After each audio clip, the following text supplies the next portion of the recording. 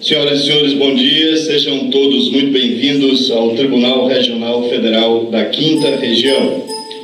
O TRF tem a satisfação de sediar hoje e amanhã a capacitação de sustentabilidade nas contratações públicas, programa elaborado e coordenado pela AGU, Advocacia Geral da União, dentro do Projeto Nacional de Licitações Sustentáveis. Aqui em Pernambuco, conta com a parceria dos órgãos públicos integrantes do protocolo ECOS Pernambuco, que são eles o Tribunal de Justiça de Pernambuco, Tribunal Regional do Trabalho da Sexta Região, Tribunal Regional de Pernambuco, Tribunal de Contas de Pernambuco, Tribunal Regional Federal da Quinta Região e a Universidade Federal Rural de Pernambuco.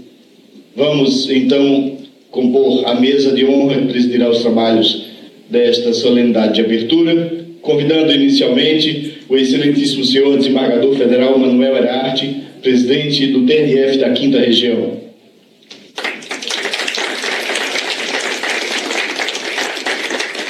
Representando a, a, o órgão organizador deste evento, a AGU, convidamos a compor a mesa o excelentíssimo senhor, consultor jurídico da União em Pernambuco, doutor Luciano Cavalcante Batista.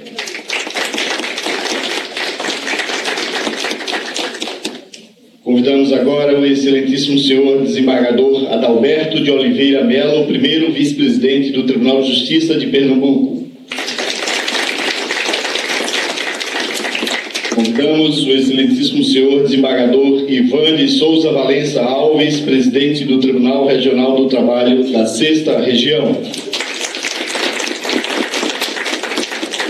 Convidamos o excelentíssimo senhor Procurador Federal Luiz Henrique Diniz de Araújo, coordenador regional da Escola da AGU. E representando o Tribunal Regional Eleitoral de Pernambuco, nós convidamos a doutora Sinara Batista, ela que é assessora de gestão socioambiental daquele órgão.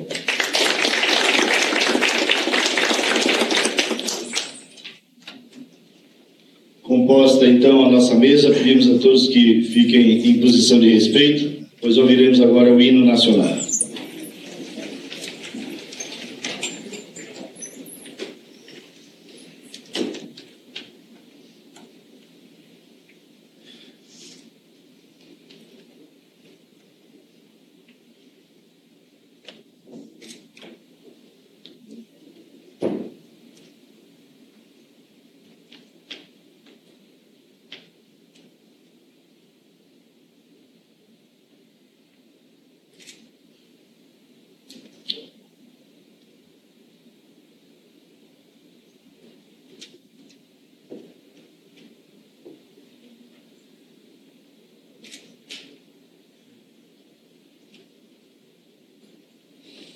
Acho que houve algum problema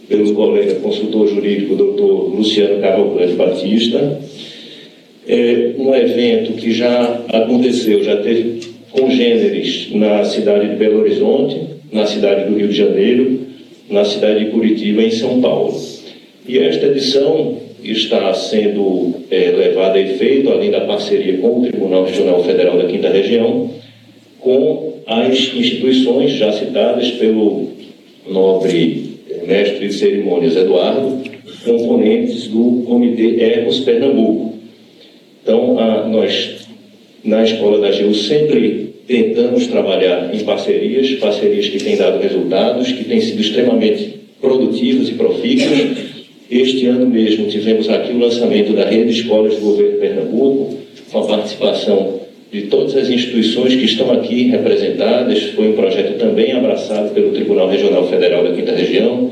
O professor Manuel Hart estava presente, nos acolheu aqui para fazer uma cerimônia de lançamento, enfim, o trabalho em rede me tem parecido que tem dado excelentes resultados e tenho certeza que esta rede, entre a Escola da AGU e o Comitê Ecos Pernambuco, composto pelas instituições já citadas, pelo nosso mestre de cerimônias, tenho certeza de que já está dando excelentes resultados. Então, eu quero agradecer a presença de todos e todas, agradecer a participação, a oportunidade de a Escola da e a consultoria jurídica da União, a consultoria geral da União, da Advocacia Geral da União, poderem eh, levar a efeito e participar deste projeto. Muito obrigado. Senhoras e senhores, na sequência, para explicar um pouco mais sobre o nosso evento, anunciamos a palavra da doutora Sinara Batista, representando o Tribunal Regional Eleitoral de Pernambuco.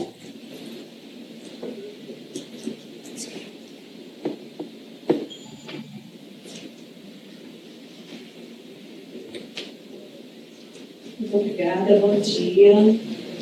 Saúdo as autoridades da mesa, na pessoa do desembargador Manuel Arran, presidente deste Tribunal Regional Federal. Cumprimento aos demais.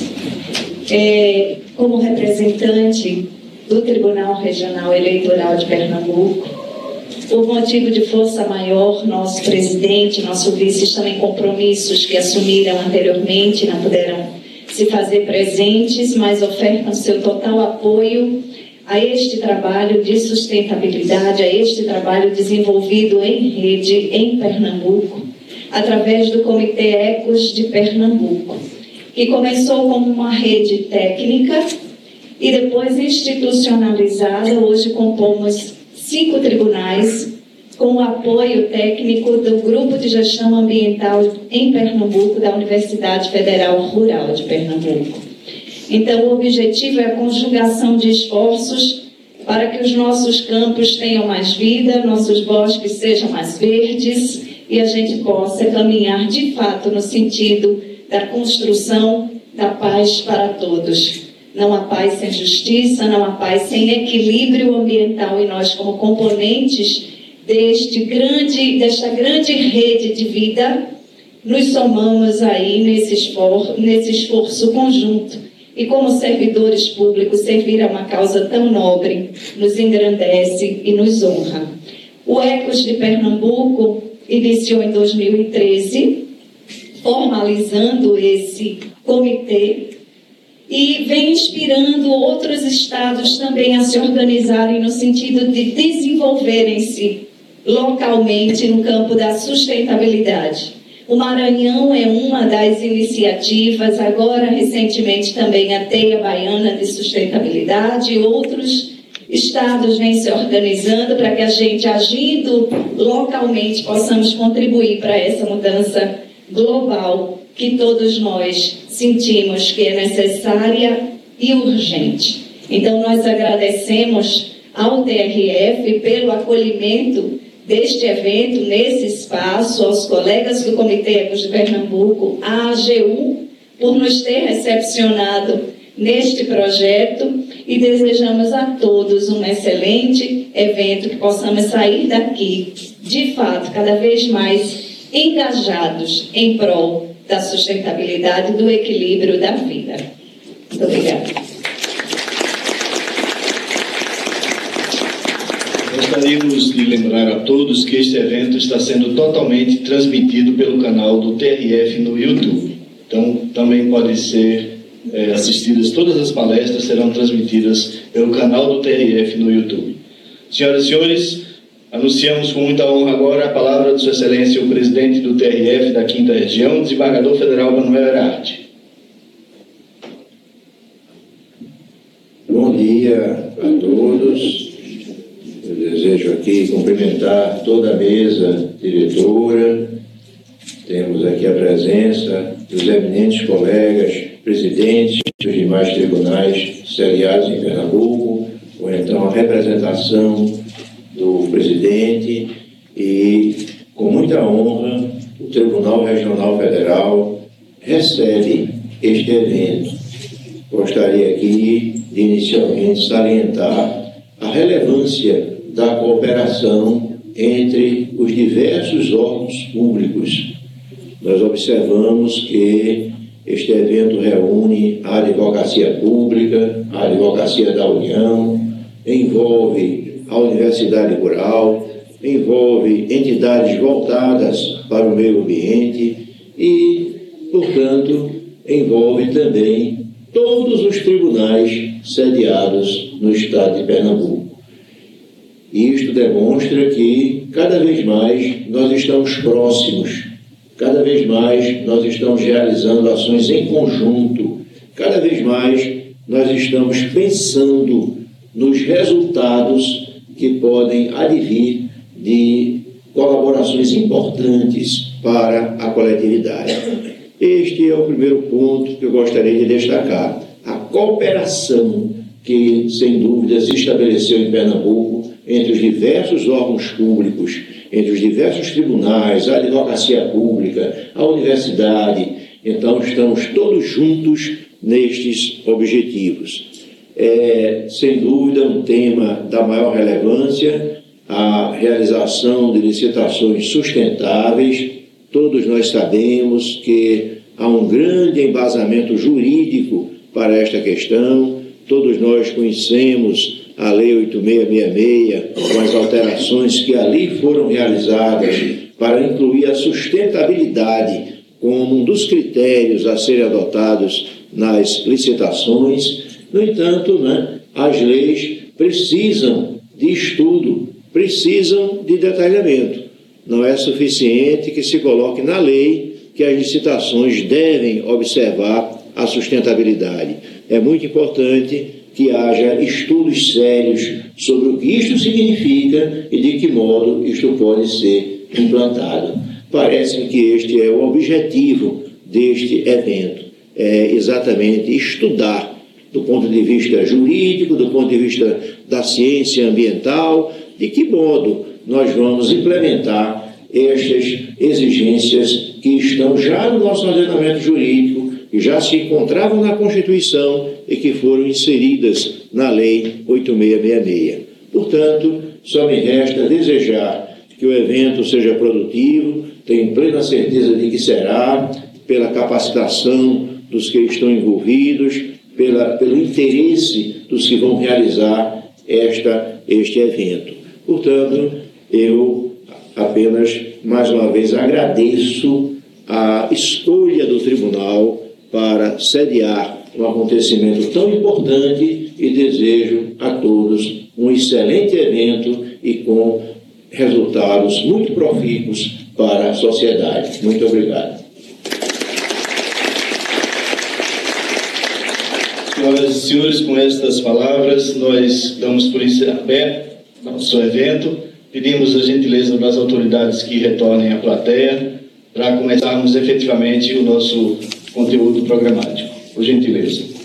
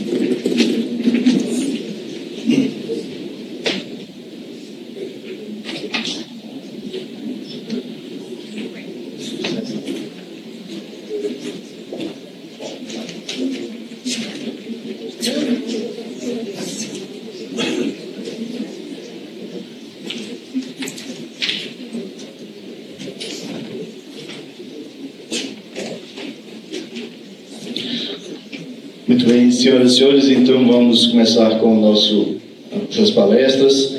O primeiro tema a ser desenvolvido é exatamente o desenvolvimento sustentável, ética ambiental.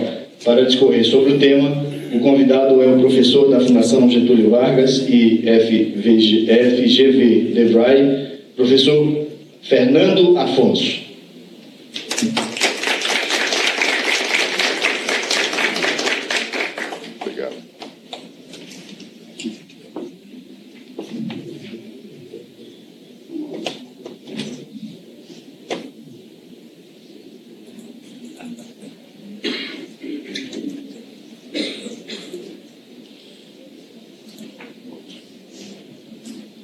Bom dia a todos.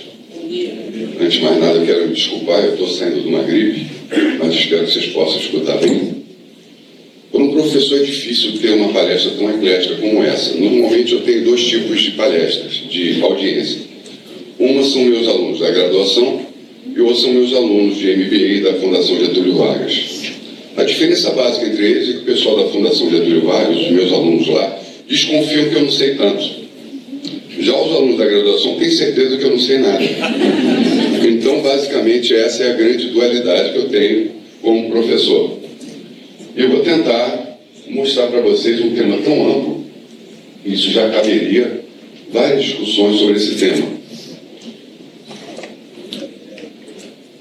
Então, reflexões. Eu gostaria de colocar algumas reflexões para os senhores, não só o que está acontecendo dentro das pesquisas das universidades, como também algumas coisas que nós conseguimos tirar dos jornais e das informações que nós temos como acadêmicos. A sustentabilidade, o termo dessa palavra surgiu há alguns anos, é união de duas coisas: habilidade de ser sustentável. Então, a habilidade de ser sustentável, ela tem um tripé. Ela tem três pilares básicos: um, a social, um, o meio ambiente e a outra parte econômica. Não adianta você ser apenas ambiental esquecendo a parte econômica e social, porque o ser humano faz parte do meio ambiente. Nós temos que pensar também no ser humano, mas não só nele, como era se pensado antigamente.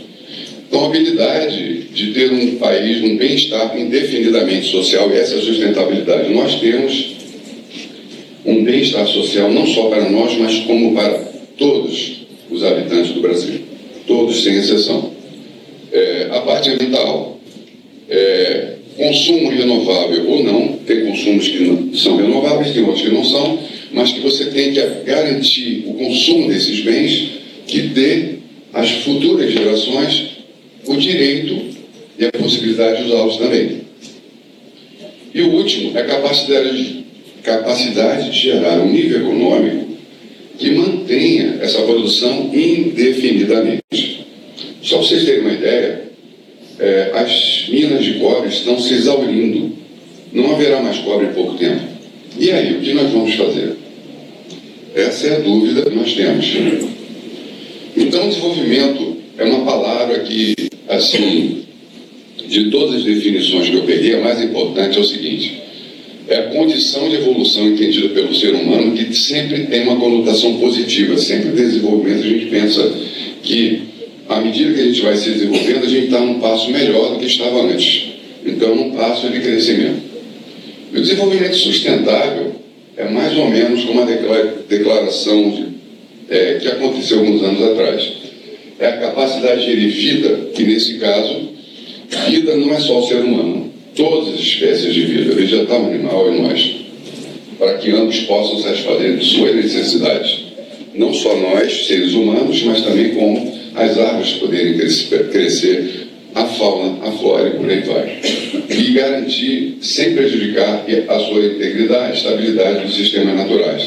Isso é desafiador, porque nós temos encontros antagônicos.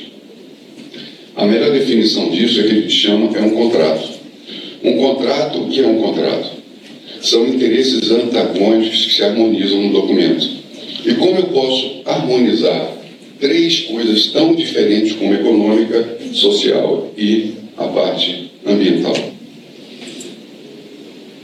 E aí surge uma outra definição, ética. Eu costumo muito brincar com a definição do Mário Sérgio Cortella. Ética é um conjunto de valores e princípios que usamos para responder três questões básicas. Posse, posso, devo e quero. E tem coisas que eu quero, mas não devo, tem coisas que eu devo, mas não posso, tem coisas que eu posso, mas não quero. Então essas coisas são a definição assim simples de ética. Eu não posso tudo que eu quero. Eu tenho que ter limitações. E essas limitações começam às vezes numa educação em pequena idade. Porque se você treinar uma criança, ensinar uma criança sem limites, ela vai ser um adulto sem limites. E se ela pode tudo, ela não é livre. Porque se você pode tudo, você é escravo das suas vontades. Se você é escravo das suas vontades, você não é uma pessoa livre. Ética ambiental, ela buscou essa parte ética da filosofia e ela considera a extensão dos limites tradicionais da ética, que é exclusivos aos seres humanos. Ela estende também à natureza. Então, ela é multidisciplinar, ela é uma migração do sistema antropocêntrico que nós estamos no meio do universo, e não só nós, mas como o meio ambiente. Se nós começarmos a ter uma consciência multidisciplinar de que nós não somos o centro do mundo, nós temos uma chance de ter uma ética ambiental. Se nós continuarmos achando que nós podemos tudo, nós vamos sofrer drasticamente no futuro por conta disso. Então, por conta dessa multidisciplinaridade, é, nós precisamos de técnicos de várias áreas: advogados, biólogos, pesquisadores, engenheiros, arquitetos, filósofos. E isso é uma coisa difícil para nós, porque nós trabalhamos em várias áreas, num grupo, não é fácil, porque pessoas são complicadas. Então, as primeiras conclusões que nós tiramos daí é o seguinte: o nosso modo de vida não é sustentável. Até aí nós não temos muita. A população brasileira não tem qualquer vestígio de ética ambiental. Eu tive ontem em Arco Verde e o interior, a Caatinga, está repleto de sacos plásticos que foram jogados pelo vento. É uma sensação degradante você ver a nossa Caatinga que você não é mais era há 50 anos atrás. Como você vai limpar um ecossistema desse que já está totalmente poluído, que o vento faz tudo. O controle e sustentabilidade do nosso ecossistema depende muito de um elemento: dinheiro. O dinheiro, sem ele, a gente não faz nada. Mas o dinheiro mal aplicado, ele vai contra o meio ambiente. O maior defensor da vida no Brasil, eu acho que é o Poder Judiciário, não tenho a menor dúvida disso. Diz, diz, dizia-se que sem advogado não há justiça. Eu acho que a gente pode dizer hoje que sem judiciário não haverá vida em pouco tempo. E não vai haver mesmo. Se nós não abrirmos os olhos, se vocês pararem para pensar, o nosso tempo de vida, o que é 100 anos, 90 anos, um dano ambiental demora mil anos para ser recuperado. Se você não fizer alguma coisa agora, daqui a 40 anos, toda essa audiência que está aqui não estará mais sobre a Terra. Estaremos em algum outro local. Espero que muito bem. Mas o que é que nós vamos deixar para os nossos sucessores se a gente não souber em preservar a vida que está se extinguindo rapidamente? Não estamos lidando com fraudadores ou réus, mas com assassinos que exterminam em massa. As pessoas que exterminam as florestas, eles são um grupo paramilitar extremamente armado. Eu, como professor, nunca dei um tiro na minha vida. Qual é a chance que eu tenho de tentar fazer alguma coisa lá? Quantos missionários não faleceram por tentar fazer alguma coisa? Se a gente não tiver um respaldo do Poder Judiciário, nada vai ser feito, não. A situação está fora de controle. Eu acho que o momento hoje é de ação. Soluções emergenciais. Não se trata de um problema de presente, passado ou futuro. Eu acho que se trata de um problema de vida e de um país, de uma sobrevivência de um país. Se a gente quer viver, então por que não dirigimos todos os recursos provenientes de multas sobre o que agride ao meio ambiente para o Poder Judiciário administrar? É uma sugestão, uma proposta que eu dou. Eu não sou dono da verdade, mas eu acho que valeria a pena começar a se discutir esse tipo de coisa. E como aplicar esse dinheiro?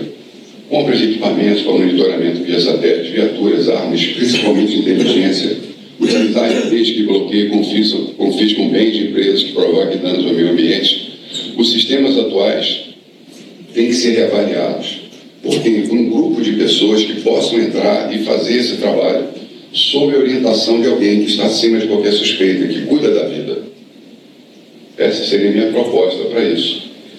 E aliado a isso, nós temos aqui a curva de crescimento da população mundial.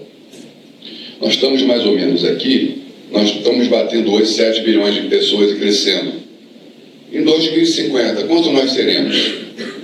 9 milhões, 9 bilhões, 10 bilhões, 12 bilhões? Qual o tamanho dessa insanidade? Para onde é que nós vamos com tudo isso aí? Será que nós temos condições de alimentar todo esse pessoal dignamente? Será que a gente tem condições de abastecer com água? Será que tem condições de fazer todas as expectativas de vida que nós temos?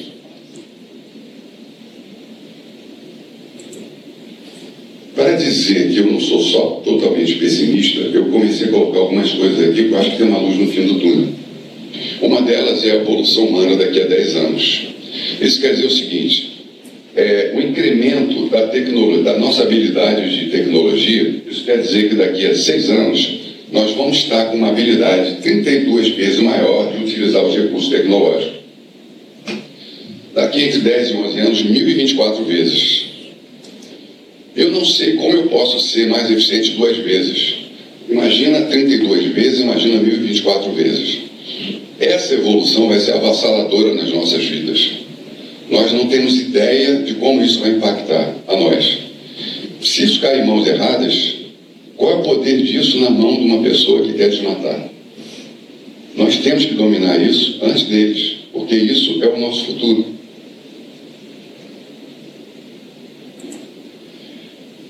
Uma coisa boa, a evolução das fontes de energia, essas negras aqui, são aquelas consideradas nuclear, gás, óleo e petróleo. A tendência a partir de 2030 é que elas praticamente sejam residuais. A grande quantidade de geração de energia será energia limpa, eólica, principalmente solar. Estamos começando a desenvolver umas tecnologias extremamente interessantes. Então o futuro vai ser promissor. O problema é, será que a floresta amazônica vai resistir a essa taxa de desmatamento chegar lá em tal? Nós estamos muito próximos de uma destruição automática dela. Vai chegar um limite que ela não consegue se manter. Nós vamos ter que gastar dinheiro para que elas voltem a crescer. E dinheiro de onde, se os recursos são escassos?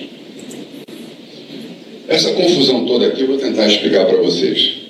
É toda a evolução tecnológica das placas solares. Começou em 1975, alguns tipos de placa foram evoluindo, outras tecnologias chegaram, e aqui a eficiência delas começou-se com menos de 1%, aqui nós já temos 44%, já tem algumas extremamente eficientes, mas eu chamo a atenção para essa nova tecnologia que está chegando aqui a partir de 2015, uma nova tecnologia chegou e ela já está batendo 20% de rendimento. Se ela conseguir evoluir, a gente vai estar com 40% a 50% de evolução dessa tecnologia e isso vai ser muito bom para nós. Praticamente nós não vamos ter mais 50 centavos de dólar o watt gerado. Isso quer dizer o seguinte, boas notícias, nós temos condições de ter energia e ter uma velocidade muito... Esse problema cada um de vocês desse uma solução, isso chama-se brainstorm. Qual maior, quanto maior a quantidade de pessoas nesse brainstorm, melhor, mais eficiente, melhores são as sugestões. Se nós temos 5 bilhões de pessoas e 50 bilhões de coisas conectadas, qual é a quantidade de ideias maravilhosas que a gente pode desenvolver para melhorar e resolver problemas? Isso é uma coisa interessante demais. Então, nós podemos ter um outsourcing fantástico em todas as cadeias que nós pudermos utilizar. Agora eu faço um sistema ISO, que é uma, um instituto internacional, do nada ele começou a ter uma ideia, mas veja só onde é que isso está hoje. Em mais ou menos 1979, houve uma preocupação de qualidade. Isso evoluiu para o que a gente chama hoje de ISO 9000. Então, o objetivo deles é melhorar qualitativamente processos de produtos e serviços de qualidade de vida.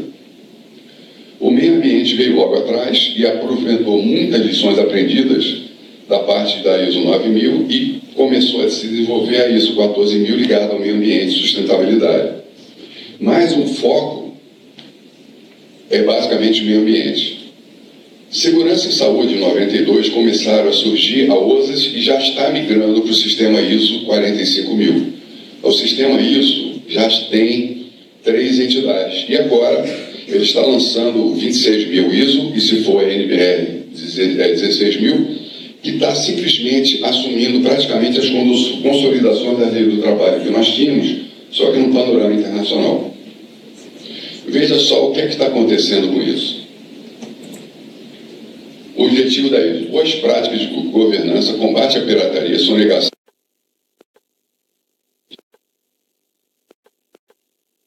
que quiser se certificar com essa norma, possam verificar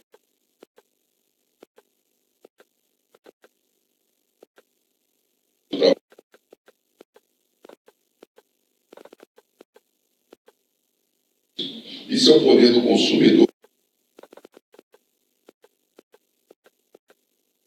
elas não fizerem isso, elas vão simplesmente desaparecer.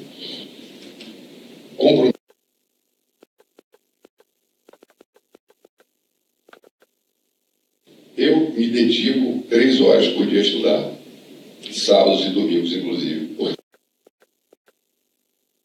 Doar muito mais de mim se eu continuar estudando. Padrões sustentáveis de desenvolvimento, fornecedores, clientes, como você aumenta a cadeia de fornecedores para que você consiga conscientizar isso. Notem, senhor. As leis do mercado. A isso está ligado a isso. Meio ambiente, direitos de futuras gerações e ações sociais de interesse público. Alguma vez eu pensei que eu estaria vivo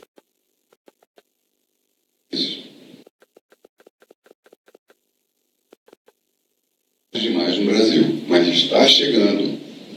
Então há uma luz. As informações transparentes. As regras são claras. Estabelecimento vários países, signatários, várias ONGs, várias entidades. Então, é um, um documento que é tecido a várias mãos. É dificilmente um documento desse tem alguma falha, porque muitas pessoas já pensaram nele.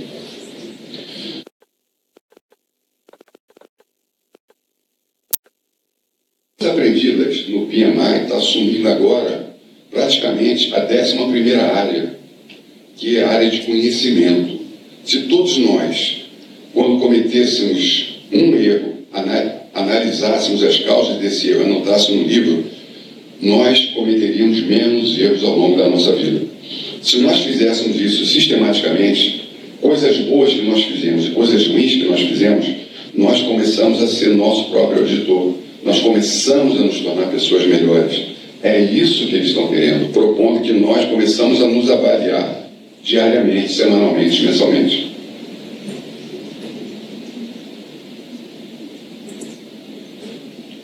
Com tudo isso, nós vamos perder provavelmente a economia linear. Nós não vamos ter mais economia linear.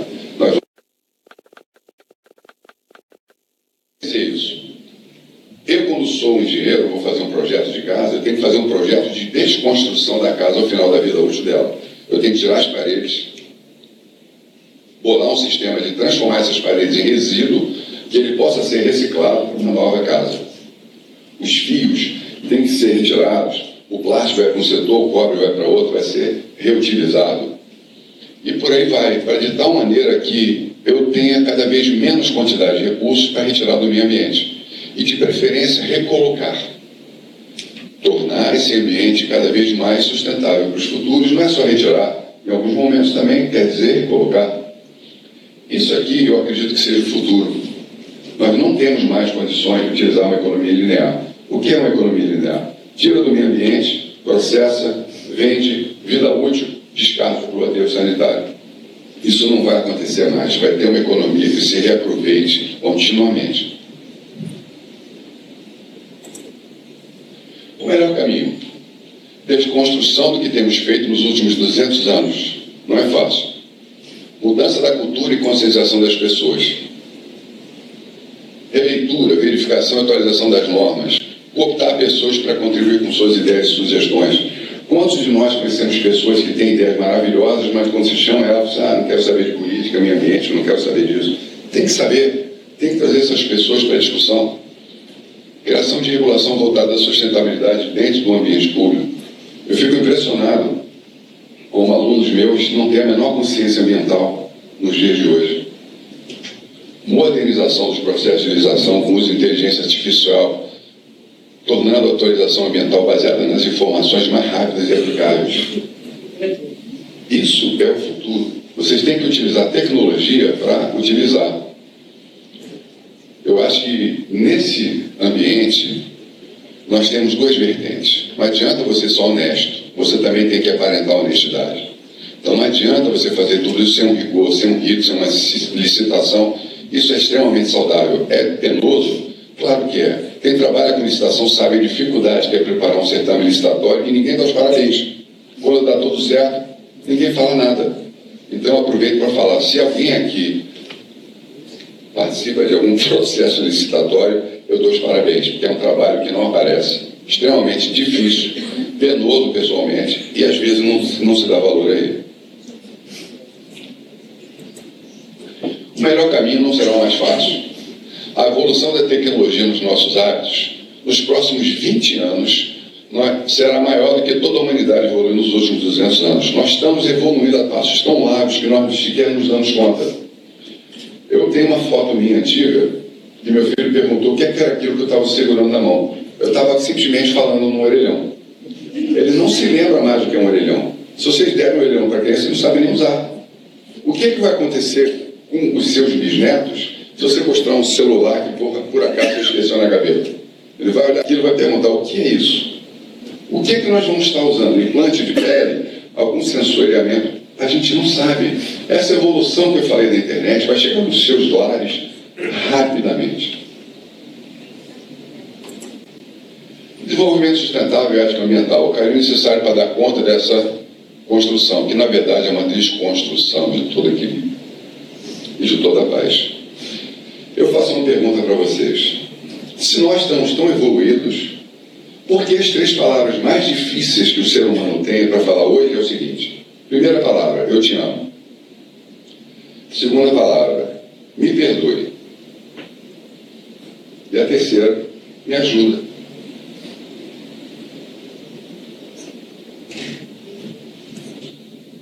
Tem muitos alunos meus que não sabem pedir ajuda. Eu me torturo para perguntar por que eu não consigo chegar a ele. E ele, ele vai ter uma dificuldade na vida porque não sabe pedir ajuda. Nós não podemos deixar isso acontecer. A gente está perdendo a humanidade em algum momento. Eu não sei como. Nós não podemos ser máquinas de fazer licitação. Nós temos que cuidar com pessoas. Pessoas são seres humanos. E você não pode dissociar o funcionário público do ser humano. Somos iguais. Não podemos deixar isso acontecer.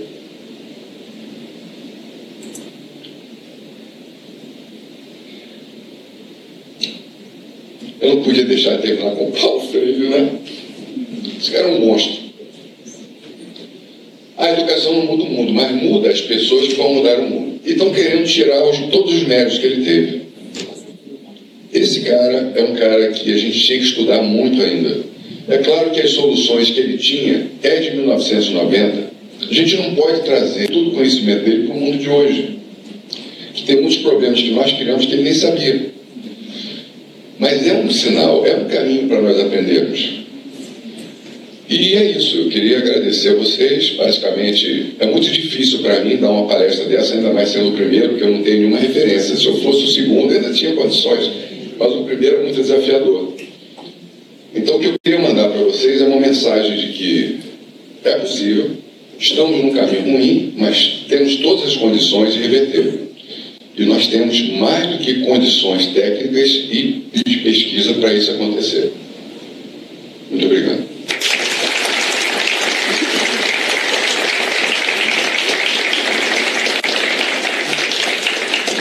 Gostaríamos de informar a todos que as perguntas poderão ser feitas ao final da terceira palestra. Todas as palestras são temas mais ou menos conjugados, então, ao final das três palestras, será aberta a sessão de perguntas e respostas.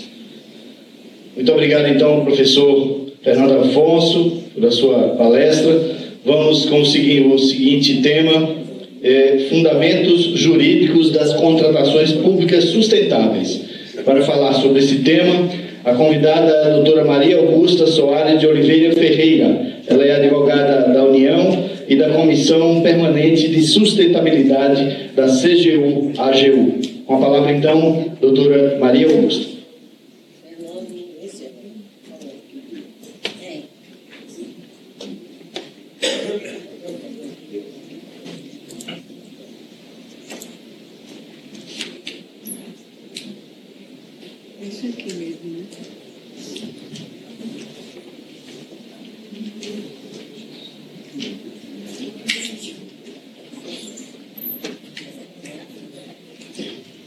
Bom dia a todos e a todas. Depois da palestra que a gente teve agora, né, excelente palestra do professor, e já fica mais fácil o meu trabalho. Já fico, já fico tranquila de falar para vocês, porque quando a gente vai falar da questão jurídica, sempre eu faço uma introdução é, nessa questão do desenvolvimento sustentável, da sustentabilidade, porque a gente precisa primeiro ter essa consciência, né, essa consciência ambiental que o professor nos trouxe, para poder a gente ver como é que a gente aplica isso nas licitações, né, nas contratações públicas. Então, esse é, a grande, é o nosso grande desafio. Né, como a gente vai trazer isso para o nosso dia a dia das contratações públicas.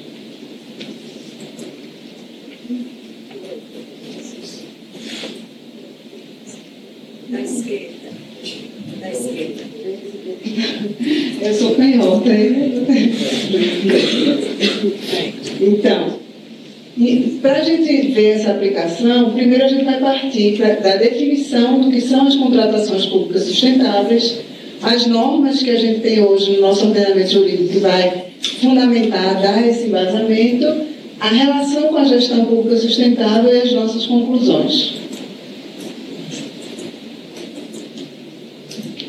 Eu não preciso mais falar sobre desenvolvimento sustentável, o professor já falou. Eu só queria ressaltar aqui o seguinte, que a gente já viu da palestra dele que toda essa crise ambiental, todo esse problema ambiental que a gente está sofrendo hoje, tem a ver com o nosso padrão de consumo e de produção.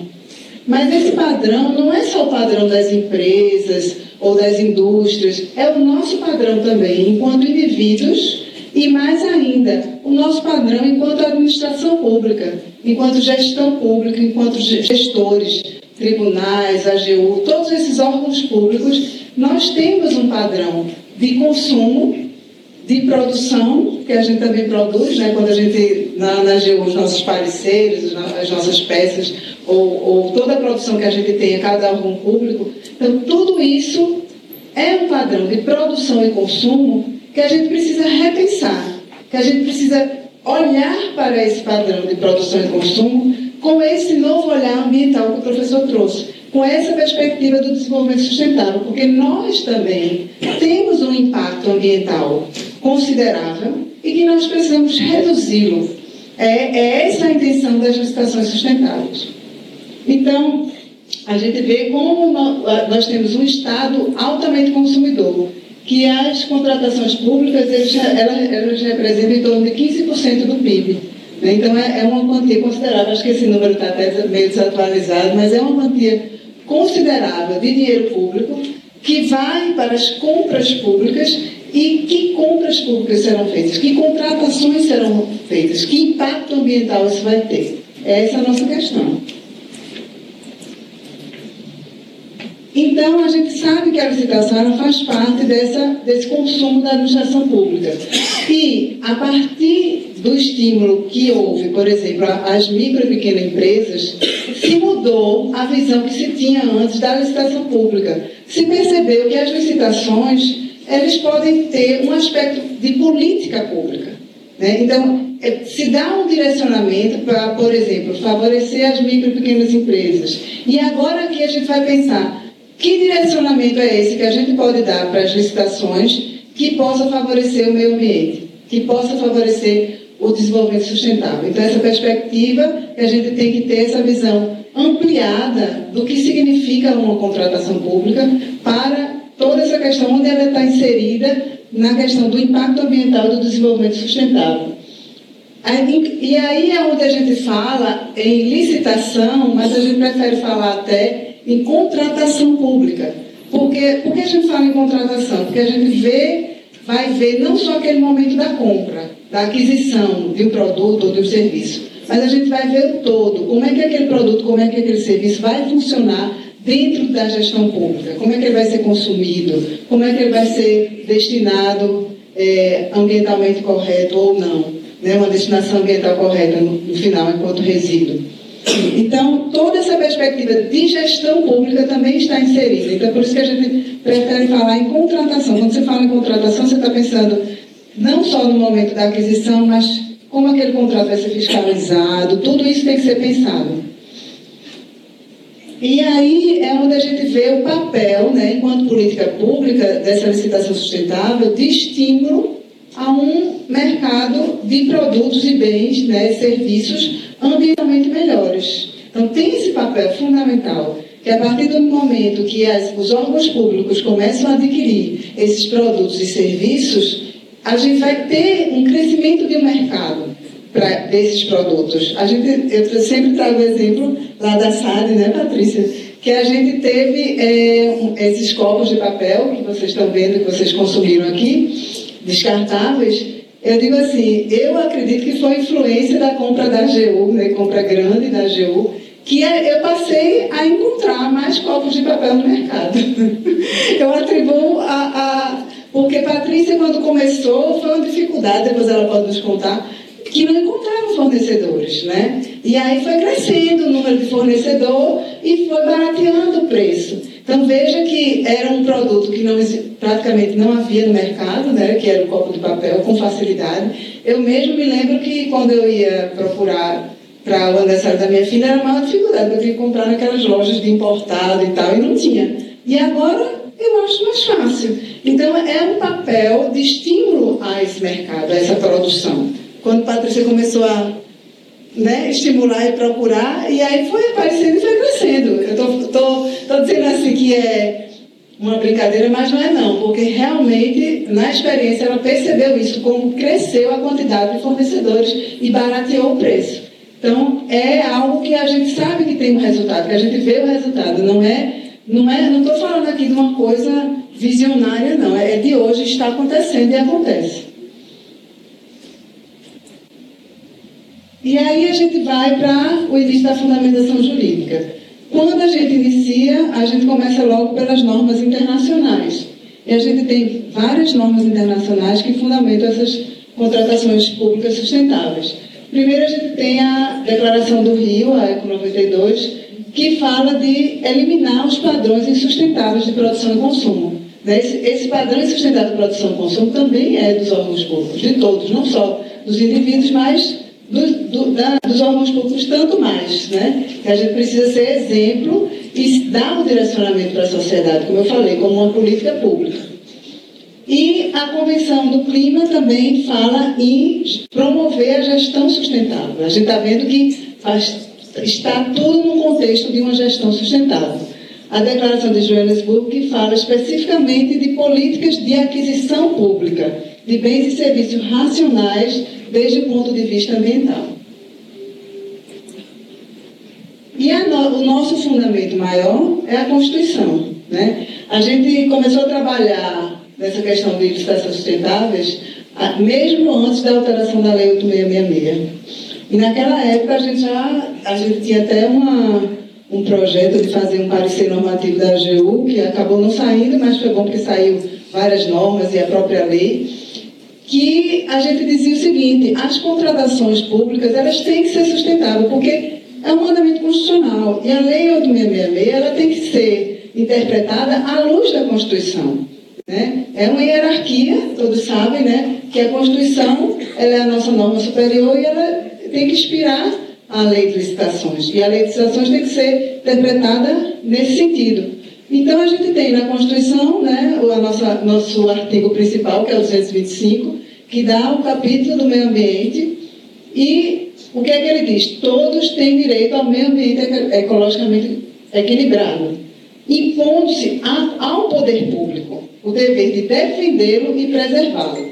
Então, esse dever de defender e preservar, ele passa por todas as ações do poder público, inclusive as licitações, as contratações públicas, que a gente já viu a importância delas, né, a quantidade de valores né, que ela movimenta. Então, nas contratações públicas também a defesa e a preservação do meio ambiente têm que estar inseridos. A gente tem os princípios da ordem econômica que especificamente vai ter como um dos seus princípios a defesa do meio ambiente, inclusive é, com tratamento diferenciado, conforme o impacto ambiental, aos produtos e serviços. Então, é norma constitucional.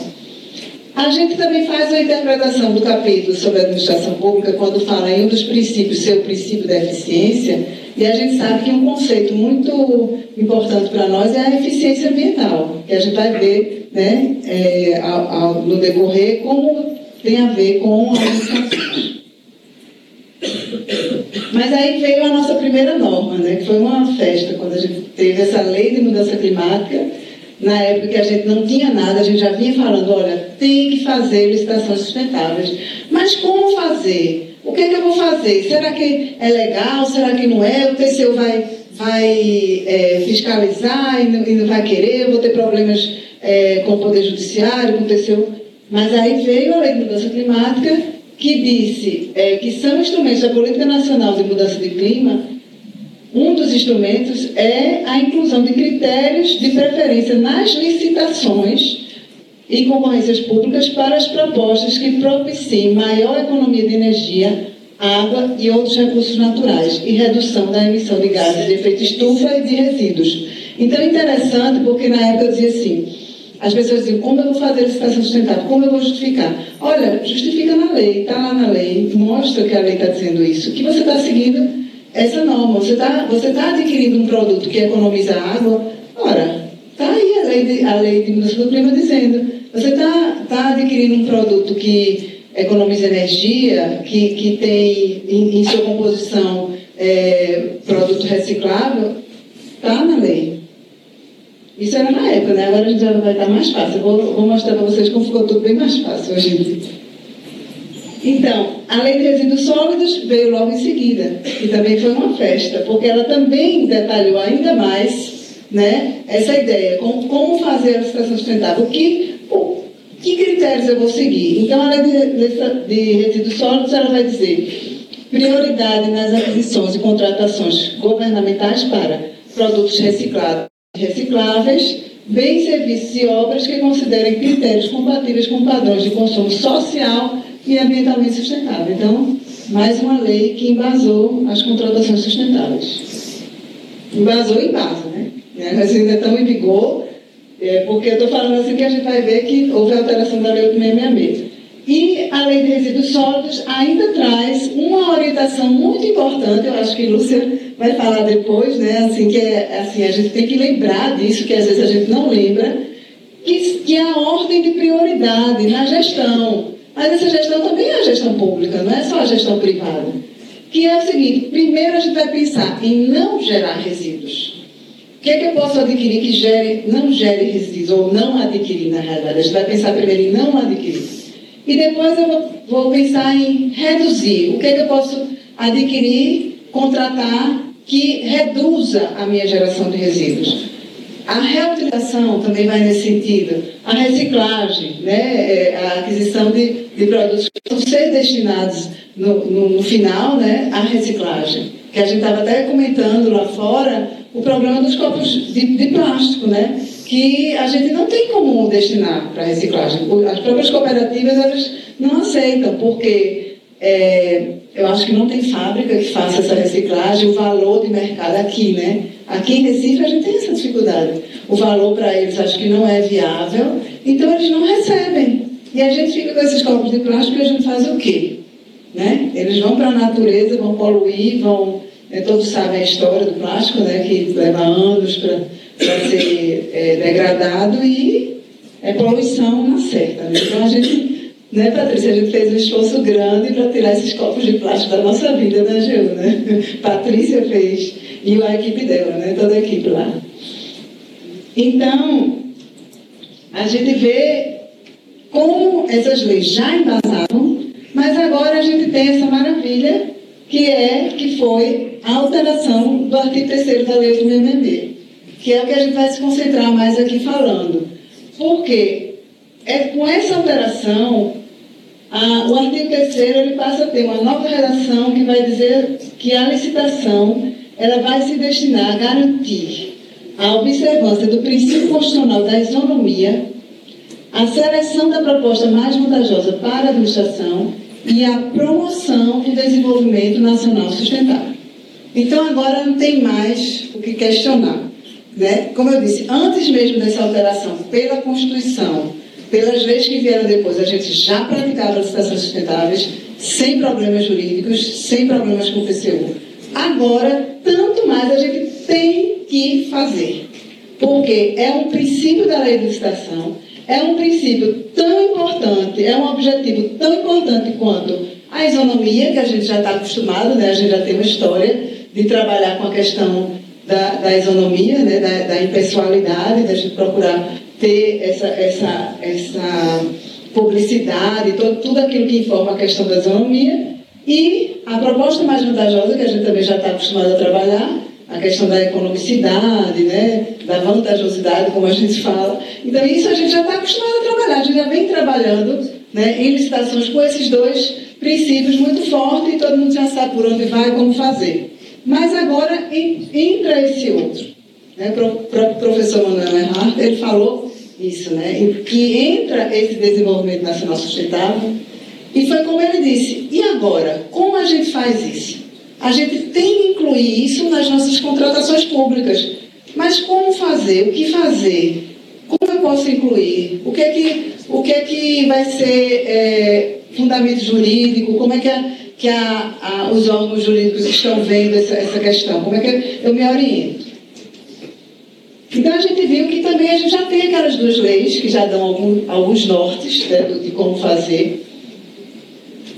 E a gente vai ter é, essa questão né, de como fazer Mas esse como fazer é como o professor falou antes, a gente vai ter que desenvolver esse olhar ambiental para as coisas, esse olhar socioambiental. Então a gente não vai mais fazer aquela, procurar não fazer mais aquela compra assim do copiar colou, daquela especificação que já vem de longa data, né, daquele termo de referência, daquele projeto básico que já vem de longa data, que a gente copia e faz o mesmo. A gente tem que ter essa sensibilidade ambiental, esse olhar socioambiental. E é isso que a gente está fazendo aqui, né? As várias capacitações que a gente vem fazendo há muito tempo, né? Lúcia, Patrícia sabe, assim, a gente tem essa, esse, essa história de, de capacitações, porque, na realidade, a gente está falando aqui muito mais de uma sensibilização para o problema ambiental e para esse olhar socioambiental, que você vai ter que olhar essa sua contratação, não só naquele momento da aquisição, mas no momento do consumo, e no momento do descarte, né? Do berço ao túmulo. E também, né? Não só o túmulo, porque também tem a circularidade, né? Como é que ela vai voltar. Então, é esse olhar socioambiental que a gente vai ter que sair do nosso lugar de conforto que a gente tinha, né? De, de contratar o mesmo, de, de copiar colar, para a gente vir para um outro olhar. E isso realmente, algumas vezes, vai implicar um esforço, né? um esforço como o Patrícia fez, que eu disse que não apresentava, não aparecia fornecedor, mas ela insistiu e foi aparecendo. E foi crescendo. Né? Então, assim, esse, ir atrás dessas novas especificações. Mas eu estou dizendo isso, e eu falei isso uma vez, eu nunca esqueço. Eu falei isso uma vvez para gestores da AGU no Rio, e aí, para minha surpresa, o gestor disse assim para mim: Ah, mas isso é muito fácil. Como assim é muito fácil? Eles, porque a gente já vem fazendo isso. A gente já vem melhorando as nossas especificações, porque aqui mesmo, ele conta-se, né? Ele não sabia exatamente o detalhe da história, não era da época dele, que já houve um gestor que foi é, demitido, digamos assim, né, do, do, do cargo comissionado, não sei, foi demitido por causa de um clips que, ele, que a gente adquiriu e o clips não funcionava. A gente teve que jogar fora caixas e caixas de clips. Então ele disse: a gente já vem com um trabalho de melhorar as nossas especificações para que a gente, pelo menos, compre produtos que realmente funcionam. Que realmente a gente não tem que descartar, comprou e descartou. Porque isso é um desperdício grande de dinheiro público. Então, esse processo de melhoria né, do, dos termos de referência, da, dos projetos básicos das especificações, já vem vindo com essa necessidade especialmente da gente ter é, esse, essa questão do, do, do, gasto público ele ser bem empregado, né, o dinheiro público. E se você adquirir algo que logo em seguida você tem que descartar, o gestor vai ser responsabilizado. Né? Então a gente tem que ter esse cuidado, já vinha tendo, e agora mais ainda. E a gente também vai olhar a questão também de outros gastos, né, que, que às vezes a gente não vê na hora de contratar. Que, por exemplo, se eu contrato algo que é altamente poluente, por exemplo, produtos com metais pesados, eu tenho que pensar como vai ser essa destinação, né? E, e, o impacto ambiental que isso vai ter, porque isso também vai gerar outros gastos públicos mais na frente, que é a questão da, da saúde de pessoas que vão ser contaminadas, inclusive prejuízo para a saúde do próprio servidor que utiliza aquele produto. Então, tudo isso eu tenho que pensar. Então, não é aquele, aquele preço imediato. Às vezes eu tenho aquele preço mais barato, mas é um barato que sai caro, né? Como as pessoas gostam de dizer. Então, o barato que sai caro, o que ele pensou na hora da questão do, do clips. É o que a gente tem que pensar na hora né, de, de produtos que tenham um impacto ambiental de poluição. Que a gente vai ver que é uma economia que se faz pensando na economia a longo prazo, né, do, do, do custo ambiental. E aí é quando eu vou também ter esse problema. Eu tenho aqueles outros dois princípios, dois objetivos da licitação que eu estou acostumada a lidar, mas agora chega um terceiro. E será que eu consigo compatibilizar bem esses três? Como é que eu vou fazer? Né? Aqui a gente vai dar algumas pistas. Como eu já falei, muitas vezes o menor preço, né? A gente pensa assim, não, qual é o meu menor preço? O meu menor preço é conforme as minhas especificações. Está lá na lei de licitações, né, no artigo 45. Então, eu vou fazer a minha especificação, eu vou tomar o cuidado com, meu, com a minha descrição do meu produto ou do meu serviço, e aí eu vou, com isso, ali inserir critérios ambientais, critérios de sustentabilidade, como é o exemplo que eu dei do, do copo. Então, ela estava procurando copo de papel. E aí, o melhor preço, o menor preço para copos de papel, é o que eu vou, é o que eu vou buscar. Então, aí eu estou compatibilizando. Agora, é, o, o, na realidade, quando eu penso também em todas aquelas outras questões ambientais, eu vejo que muitas vezes é, não é o menor preço que eu estou procurando, é o melhor preço. Porque se eu faço uma especificação é, detalhada e boa e eu compro produtos mais duráveis, isso aí vai representar uma economia. Então, isso é o menor preço. Isso é, na realidade, o melhor preço, algo que dura e algo que vai me dar né, um, um retorno. E aí, outro cuidado também com o princípio da isonomia é a gente não restringir a competição, né? É, e aí, o que, é que a gente vai fazer? A gente vai compatibilizar esses princípios através de alguns, é, alguns, alguns norteamentos que o direito dá, por exemplo, a questão da razoabilidade. Né? É, é, eu gosto de trazer muito esse exemplo que a gente vivenciou lá na AGU, e quando a gente começou na agenda ambiental, aí tinha aquela empolgação, né? Poxa, energia solar. Né? Vamos trazer energia solar aqui para a AGU, para o prédio novo, né, Patrícia? Para esse prédio novo. Mas a gente parou para pensar, quanto custa na época, né? Quanto custava a, a energia solar? E para aqueles prédios que eram prédios alugados, não eram prédios próprios da AGU. Como é que a AGU ia investir todo aquele dinheiro em energia solar para um prédio que era alugado e que a gente sabia que provavelmente em breve, sei lá, daqui a alguns anos a AGU poderia até, provavelmente agora, né, talvez até tenha que se mudar desse prédio, entende? Então você faz um investimento. Então isso não é razoável. Então tem que ter essa questão da razoabilidade, de ver é, o custo-benefício, né, como a gente costuma chamar. E, e aí você tem um outro lado, por exemplo, se você tem a questão de energia solar para aquecimento de água, isso aí, inclusive, tá, a gente vai ver, está numa norma sobre isso, porque ela rapidamente se paga. Aquele investimento, se algum órgão precisa de, de aquecimento de água, né? no caso a gente não precisava. Então a gente não pode fazer nada com a energia solar, infelizmente, né, Patrícia? Mas aí a gente, porque a gente não precisava de aquecimento de água, mas a gente sabe que tem muitos órgãos que precisam. Né? Os, os órgãos militares mesmo, a gente orienta sempre. Se, se vai né, ter uma, uma nova contratação, uma nova locação ou, ou uma construção, uma obra pública que naquele prédio vai precisar de aquecimento de água, que seja através de energia solar. É um absurdo que não seja, porque a, a, a energia solar para aquecimento de água ela é, não é cara e ela rapidamente se paga. Né? É o que a gente diz, porque o que você economiza com energia né, na sua conta de luz vai cobrir aquele gasto inicial, aquele investimento inicial que você fez na hora da contratação de contratar aquele aparelho.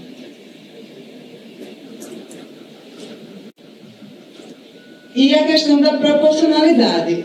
A, proporcionalidade, ela nos orienta o quê? A gente procurar ao máximo não ferir completamente o outro princípio. Quando a gente vai compatibilizar a sustentabilidade com os outros dois, como se diz, né? não, não ferir de morte um outro princípio. Então, o que, é que a gente faz? Por exemplo, esse exemplo que eu já dei, né? O payback, que é justamente isso. Aquela economia, aquele gasto inicial, ele é compensado com a economia da energia. Ou é, a gente achar produtos com pelo menos três fornecedores, três fabricantes, três, três fornecedores. E aí a gente também está né, mostrando que está cuidando do princípio da isonomia. E o outro a gente está cuidando da economicidade e da questão da sustentabilidade. A gente está compatibilizando os princípios. Mas a gente tem que sempre lembrar que a licitação sustentável é regra. O que tem acontecido na AGU, nos meus pareceres e nos pareceres dos colegas, é que sempre a gente ressalta isso. Se a gente recebe um processo de licitação, é, de contratação pública, e esse processo não vem com nenhum critério de sustentabilidade, a gente faz a observação. Tem que ter algum. Se não tiver, se não for o caso, justifique. É o contrário, inverteu. Se não inserir a sustentabilidade, tem que justificar. olha, não inseri por isso, aquilo, aquilo outro, não tem produto no mercado, que eu preciso é tal coisa, que não tem critério de sustentabilidade, tem que justificar. E, na realidade, é, se não há inclusão, eu justifico, e pode haver situações que você, na realidade, promova mais a sustentabilidade do que até outros princípios. E aí você também vai justificar que você teve que realmente é, abdicar de algum outro princípio em prol da sustentabilidade, justificadamente. Mas se você faz essa compatibilização e coloca os seus critérios de sustentabilidade, você não precisa justificar, já está lá os critérios demonstrados. Agora, tem que demonstrar que você está incluindo critérios de sustentabilidade na sua contratação. É o que tem acontecido na AGU e eu tenho tido a grande felicidade de receber os processos sempre instruídos com algo de sustentabilidade. Mas não é tão feliz assim, porque geralmente a gente está tendo outro problema, que é assim, como colocar isso em, em prática nos termos técnicos né, necessários mesmo, que a gente vai ver como a legislação também dá outros norteamentos, né, que, que realmente precisa. Por exemplo, a gente tem essa instrução normativa número 1, 2010, né, que ela é muito importante porque ela traz algumas diretrizes. Então, ela vai dizer, é, no artigo 4 dela, é, que os projetos básicos de, de serviços e obras de engenharia vão ter que objetivar a economia da manutenção e a personalização da edificação, a redução do consumo de energia e de água, a utilização de tecnologias que reduzam o impacto ambiental tais como, aí ela dá alguns exemplos. Uso de equipamentos de climatização mecânica, que apenas no, nos ambientes onde for indispensável, quer dizer, a gente economizar essa coisa de ter luz em todo lugar, mas só aquele que foi indispensável. A automação da iluminação do prédio, por exemplo, se você tem aquela questão dos sensores, né, a utilização dos sensores. A energia solar, olha aí que eu falei, para aquecimento de água, que ela já orienta é, a medição individualizada do consumo de água e, e, de energia. É impressionante, a gente pensa que isso não existe, mas eu tomei um choque quando, lá em Brasília, alguns ministérios, as pessoas me relataram, olha, a gente não tem nem como fazer a gestão da nossa água e da nossa energia, porque não é individualizada. Então, eu não sei o que é do ministério tal, do ministério qual, e a gente não pode fazer a gestão. Se não for, se a medição não for individualizada, você não vai saber o quanto você economizou, né, as metas, né, Patrícia? Lá na GU, Patrícia colocou lá as metas e divulgou, a gente atingiu a meta e tal. E vocês no ECOS também trabalham muito isso, né? Estão trabalhando né? E no TRE tem um trabalho belíssimo com toda essa questão de metas de, de cumprimento de economia de energia, de água. Então, se não for individualizado, não tem. Não tem como fazer isso. E aí, a instrução já dá esse norte. Comprovação de origem da madeira, aproveitamento da água de chuva, então, é, muito interessante isso, esses exemplos que, que estão na instrução. Né? A gente tem também na aquisição de bens, aí a gente tem questão do material reciclado atóxico, a certificação do Inmetro, né? É, a questão da embalagem individual adequada, não contém substâncias materiais pesados. É interessante a gente ter esse norteamento, porque, como eu estava dizendo, às, às vezes, poxa, é uma coisa tão simples, vem uma aquisição, uma contratação de obra e não está lá. E aí, sabe o que, é que eles têm a preocupação de colocar algo de sustentabilidade? Aí, o que, é que eles colocam? Colocam assim a norma.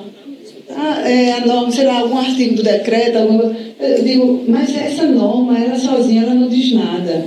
Tem que estar no seu projeto básico, tem que estar no seu contrato, tem que estar no seu termo de referência, entende? Então, está havendo assim, essa vontade né? pelo menos é o que eu vejo lá nos processos que chegam para mim, e eu fico muito feliz, essa vontade de inserir critérios de sustentabilidade. Mas muitas vezes eles não sabem assim, como inserir. Assim, faz uma, uma cobrança da, da, da para a empresa, assim, sim, mas você faz essa cobrança dessa norma, aí você pensou, como você vai fiscalizar isso? Você está trabalhando sua fiscalização para isso, né? Para que na hora da execução do contrato isso seja verificado. Porque também a gente pode cair no outro problema, que é o que a gente chama, né, costuma chamar do greenwashing, que é justamente aquela disfarce ambiental. Então tem que tomar cuidado com isso, porque algumas empresas vão chegar assim, com aquele disfarce ambiental, e se você não tem fiscalização, se você não está tudo amarradinho ali no seu contrato, no seu tempo de referência, o disfarce ambiental vai funcionar e vai ser uma concorrência desleal, né? vai ser algo que você vai estar sendo enganado por algo que se diz sustentável sem ser sustentável. Então tem que ter muito cuidado com isso. A gente já está nessa nova fase, né? Que é uma coisa boa. A gente avançou. A gente agora está vendo o que é que a gente tem aí de disfarce, né? Que estão querendo enganar a gente que é sustentável e não é. E aí também o decreto, esse decreto é muito importante porque ele também traz né, a questão da comissão interministerial, ele traz todo um detalhamento também né, de, de, de, de fundamentação, de consolidação das licitações sustentáveis. E aí ele, ele coloca que tem que estar no instrumento convocatório, né? ele, ele faz a questão, ele fala a questão de que tem que estar na especificação técnica, né? ou como obrigação. Então ele orienta. Só que assim, é, é difícil, porque a gente sabe que são muitas normas de instrução normativas, decretos, e às vezes as pessoas não têm conhecimento, né? Por isso esse papel da capacitação tão importante da gente ter realmente essa orientação. E aí também o decreto continua, né, dando exemplos. Menor, é, são diretrizes de sustentabilidade, menor impacto sobre recursos naturais, é, matérias-primas de origem local. Então é isso que a pessoa vai, vai olhar, o, o é, a, aquele, aquele gestor né, que vai elaborar o termo referência projeto básico, ele vai olhar a legislação e ele vai perceber o que, é que eu posso aqui inserir, o que é que esse meu produto que eu preciso adquirir, ou esse serviço que eu preciso adquirir, ele pode ter de critério de sustentabilidade aplicável a ele. E aí ele vai lá, o decreto traz as diretrizes, né? É, tem a questão também do, de, como já havia né, em outra norma, a questão do material reciclado, tóxico, biodegradável. É, em obras de serviço de engenharia, novamente, aquela questão da economia de, de energia, né? Como é que está meu horário? Como está? Está tranquilo? E também a gente vai ter a instrução normativa. Essa instrução normativa é interessante porque ela tem um anexo e às vezes as pessoas não observam os anexos, né? Você tem a instrução normativa, você vê o texto, mas o anexo dela é bem interessante, porque ele traz vários exemplos. Né? Impressoras que imprimem em frente e verso, no contrato de repografia, a opção de impressão de documentos em frente e verso, a questão de papéis reciclados, entre de cloro, elemental branqueado. Então, ele traz também umas orientações importantes, essa instrução. O anexo dela, o anexo 2 sugestões de boas práticas, né? mais sugestão. O contrato de cooperagem, serviço de limpeza, com procedimentos que promovam o uso racional de, de recursos. Então, isso a gente está com base nessa, nessa instituição normativa, nesse anexo, né? colocando em prática. Comprovação de origem da, da madeira, é, revisar o contrato de, de limpeza, visando a racionalização e real dimensionamento da área do serviço e aí é quando a gente vai ver, é, na questão da gestão pública, né, como um todo, que a gente, qual, o que, é que a gente está fazendo aqui? É a gente a está inserindo essa variável ambiental, esse olhar ambiental nos alguns pontos. A gente vai procurar rever esses nossos padrões né, de, de consumo e de produção.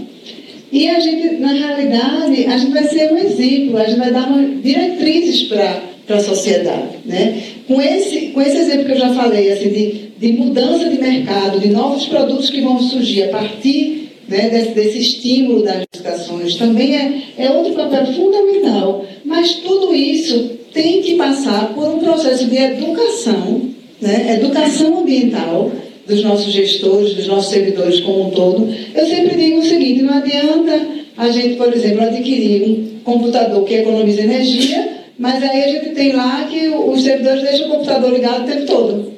E sai, vai almoçar e volta e o computador fica ligado. Então você, você economizou de um lado, mas depois sai pelo ralo, né? No, no outro lado. Se você não trabalha também a educação ambiental nesse momento do consumo, né? Como eu vou consumir? Né? E também no momento do descarte, né? da, da minha separação que eu tenho que fazer dos meus dos resíduos. Então, isso tem que ter, tem que ser permeado por um trabalho de educação ambiental em todas as fases, não só a, a, a, sensibilização daquele gestor que é responsável pelas compras, pelas contratações, mas a sensibilização de todos os servidores. Porque se, se houver o uso incorreto de um produto, se houver né, o desperdício, se não houver a separação, então tudo isso a gente vai depender de toda, todo esse, esse, digamos assim, grupo de trabalho, né, grande equipe de trabalho que possa, realmente, para que a gente possa assumir as metas. Né? Chega um momento, né, Patrícia, que a gente adquire né, os produtos que economizam energia, mas aí Patrícia já fica preocupada. Como é que a gente vai fazer para economizar mais ainda? Né? Então, tem as medidas de gestão que podem ser tomadas, né? pagar a luz a partir de determinada hora do dia, a gente procurar utilizar mais a, a iluminação natural, a ventilação natural. Tem as medidas de gestão, mas a gente também de, depende muito da participação de cada servidor. O interessante é que, na matéria ambiental, a gente tem isso. Não tem, não tem para onde fugir. Porque a participação, inclusive, é um princípio do direito ambiental. Eu sou suspeito para falar que meu primeiro trabalho foi sobre esse princípio, né? princípio da participação. Então, a participação é essencial. Não tem como, não vai ter um fiscal que possa separar o lixo de cada um. Né? Não vai ter um fiscal que vá poder desligar todas as luzes ou todos os computadores de cada um. Todos têm que participar. E como disse o professor, né, o professor Fernando, que as boas ideias também que as pessoas têm, porque é o que eu sempre digo, quem está vivendo o seu dia a dia e o seu problema de desperdício, o seu problema ambiental, esse sabe muito mais resolver do que muitas vezes aquele técnico que está no gabinete pensando, porque ele não sabe a realidade de quem está. Né? A gente percebe, percebe muito isso na AGU, porque a gente tem uma administração em Brasília. Brasília tem alguns problemas específicos de Brasília, mas cada estado, quando você vem para a administração de cada estado, você tem outros problemas que Brasília não consegue nem imaginar. Então, eu acredito que os tribunais também vivem isso. Então, aquela pessoa, aquele servidor que está vivenciando o seu problema, ele também tem a solução, muitas vezes bem melhor, né, em geral bem melhor, porque ele sabe do problema, do que aquela pessoa que está no gabinete tentando gerir. Então, essa participação, essa, essa educação, essa reestruturação, né, também passa por uma reestruturação organizacional, né, todo esse, esse esforço de, de, de, juntar as áreas de gestão. Não é só a gestão socioambiental, tem que conversar com as outras áreas. E essa questão de uma nova cultura. A gente vai formar uma nova cultura institucional que vai promover essa preservação ambiental, essa defesa do meio ambiente. E aí a gente vai pensar que a gente vai procurar ter um menor impacto ambiental e a redução dos nossos custos. É interessante porque quando eu estava, uma palestra que eu dei grande no Rio de Janeiro, e eram muitos órgãos públicos, e aí no final, um servidor, era um militar, ele disse assim, professora, quando eu comecei a ouvir sua palestra, eu tive vontade de me retirar. Não é possível. Ela vai falar de sustentabilidade. Eu já estou com meu orçamento tão limitado e ainda vem essa mulher falar de sustentabilidade aqui. Aí ele disse, mas graças a Deus que eu não saí. Agora eu entendi que não é necessariamente que a gente vai aumentar os nossos custos.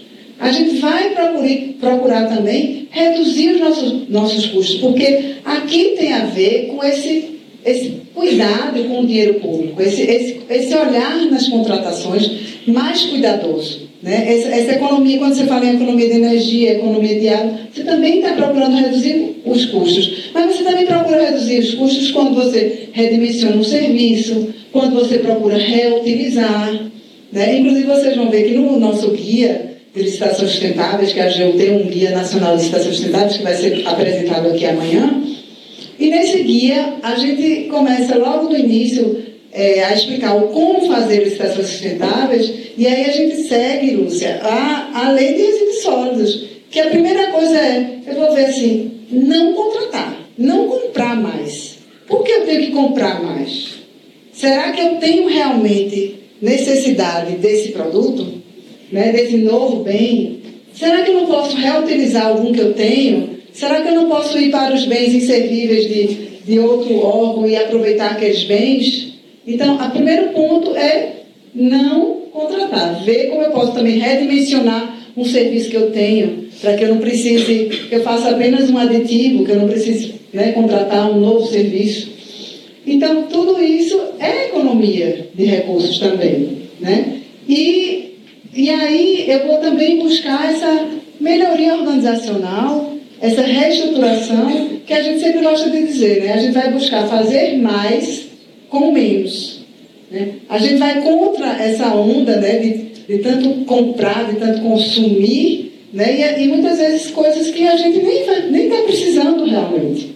Né? E isso é, isso é importantíssimo a gente pensar enquanto órgão público, enquanto gestor público, enquanto responsável pelas contratações, que muitas vezes é algo que a gente adquire não necessariamente é uma necessidade do órgão. Né? Então, esse, esse é um olhar, esse é um olhar que a gente precisa ter né, de, de economia, de, de menor impacto ambiental e economia de recursos públicos. E aí é quando eu trago a importância dessas licitações, a gente já pode ver, né? Essa diminuição do nosso impacto, esse fazer mais com menos, e a gente vê que na realidade a gente tem, é isso que eu quero, que eu quero deixar bem claro aqui, a gente precisa trabalhar a educação ambiental, a conscientização ambiental. Porque a gente tem uma lei, né, a Lei 8666, dizendo que esses critérios têm que ser inseridos. Mas existe uma seara aí que é uma seara de uma certa discricionariedade do gestor, da pessoa que está ali responsável pela contratação. É uma discricionariedade regulada? É. Há um limite para ela, há uma regulação. A gente viu ali todas as instruções, a gente, no, no parecer da AGU, a gente orienta, a gente coloca que tem que fazer, é, o TCU está fiscalizando e está mandando fazer. Né? A gente tem essa, essa maravilha que, é, que Marcos vai falar, o nosso colega Marcos Blechev vai falar como é que está a produção do TCU e ele está dizendo tem que fazer, mas se o gestor, se, se a pessoa responsável, se os gestores, se os servidores não estiverem conscientizados dessa importância, dessa, dessa questão ambiental, como ele vai fazer e a importância de fazer, porque exige minha gente, é, é importante a gente ter isso bem claro. Exige uma mudança de mentalidade, exige sair de uma zona de conforto. A gente procura, assim, com tudo isso, com essas capacitações, com o Guia Nacional da AGU, facilitar, né? A gente orientar, facilitar. Mas se o gestor, ele não tiver, assim, como é que diz, diz até aquela, a, se a mosquinha da, da, sustentabilidade não tiver mordido ele, né? Porque a gente tem, por exemplo, a gente vê o exemplo de Patrícia na AGU, as, as maravilhas que ela fez, mas ela teve que sair da zona de conforto. Ela teve que ir atrás, ela teve que pesquisar o mercado. O que, é que o mercado tem de produtos sustentáveis, né? É, Sinara também. Então, então, toda essa questão que a gente precisa ter essa conscientização, né? Isso fazer parte de uma, de uma gestão pública, né? Uma mudança de, de, de mentalidade, para que a gente possa, cada um de nós, dar a nossa contribuição para a preservação da natureza. Cada um de nós, enquanto servidores, podemos dar e devemos dar essa contribuição. Muito obrigada a todos.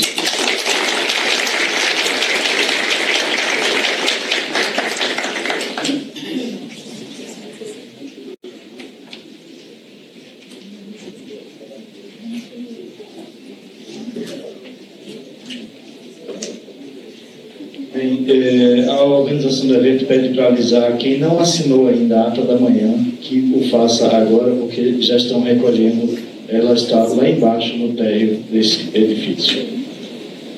É, também lembrando que à tarde será necessário também a assinatura de todos na ata de presença. Vamos então dar sequência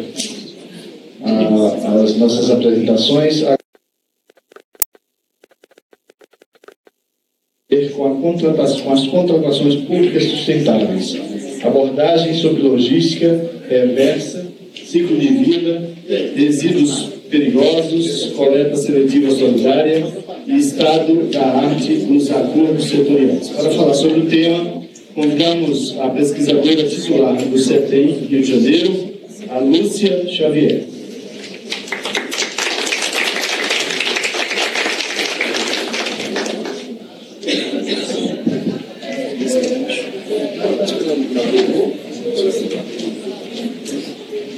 Bom dia a todos. Eu falo um pouquinho baixo, eu espero que para ouvir. Se tiver qualquer problema, vocês, por favor, sinalizem. É, eu agradeço, eu começo agradecendo. A gente agradece no final, mas eu gostaria de começar agradecendo a, a oportunidade de estar aqui, o convite que eu recebi.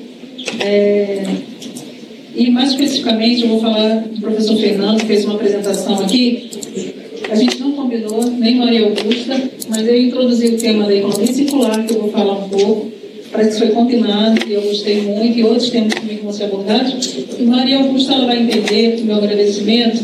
A gente tem uma amiga em comum, que não está mais fisicamente aqui conosco, mas que ela pedia muito, insistia muito, nos apresentou, a Valéria. E é a primeira vez que eu e Maria Augusta temos a oportunidade de, no mesmo evento, interagir. Né? E a nossa linha de atuação é muito sinérgica, vamos dizer assim. Então, tenho certeza que onde quer que a Valéria esteja, ela estaria muito alegre, muito feliz. E eu espero que vocês também se beneficiem né, do conhecimento que a gente está passando. Posso ficar aqui? É, meu filho, há uns. É o outro.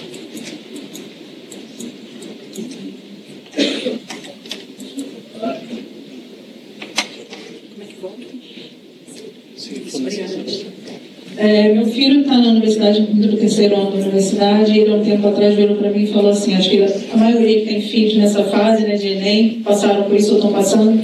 E ele, mãe, o que, que eu faço da minha vida? Né? Por que lado que eu corro? O que, que eu faço? Aí eu falei, filho, que o melhor conselho que eu posso te dar é não sei. Não sei mesmo, porque cada um trilha o seu caminho, cada um tem suas opções, né? Mas aí eu falei, eu lembro que eu virei para ele, essa, esse privilégio que vocês estão tendo aqui, nós estamos tendo, olha aqui para a janela um instantinho. O que, que vocês estão vendo? Tem luz, tem natureza, tem o vento balançando. O professor Fernando falou muito bem aqui da questão energética. Então, na época, eu falei com ele assim: meu filho, acho que tudo que tem a ver com sustentabilidade, energia e recursos, você está bem. Se você investir em alguma área que você possa trabalhar com essas questões, você estaria bem. Então, assim, eu não disse o caminho para ele, mas dei algumas pistas do que eu entendo.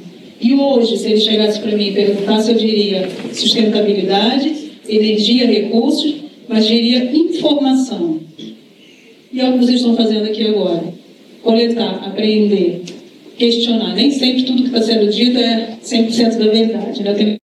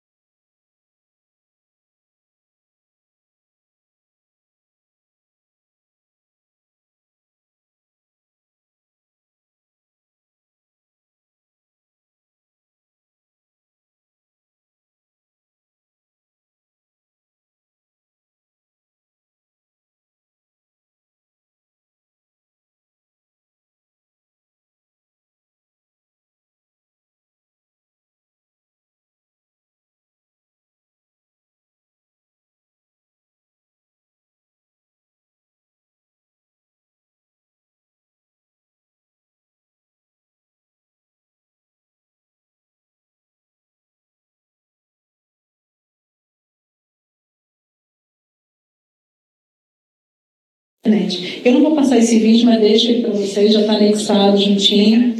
Não, ele é curtinho, mas é só para mostrar para vocês o seguinte: esse, esse aqui é uma instituição que fica em Criciúma, né?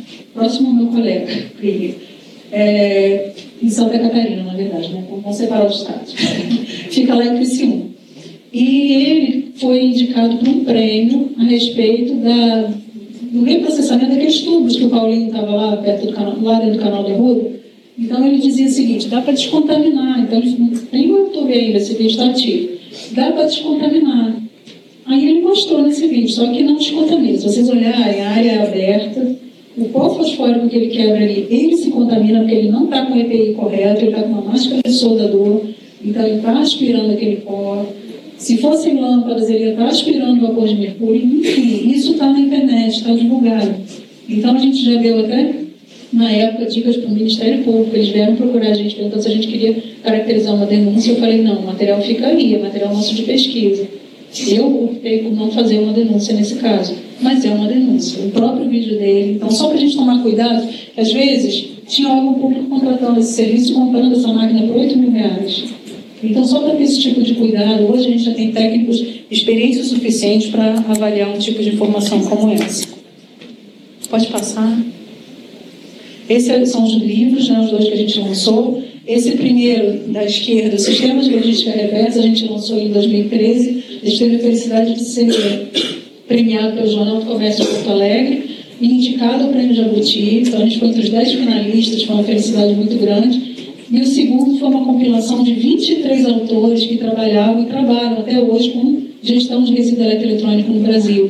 Então, são 23 é, pessoas que trabalham hoje no Brasil inteiro e que colaboram com essa parte de resíduo eletroeletrônico. Então, assim, se, se tiver algum assunto que vocês tenham dúvida, pesquisando esse livro, com certeza os autores estão lá, os contatos estão lá, vocês conseguem é, saber um pouquinho mais até como é que ele lançou. Então, foi em 2014 que a gente lançou então, dois assuntos muito correlacionados.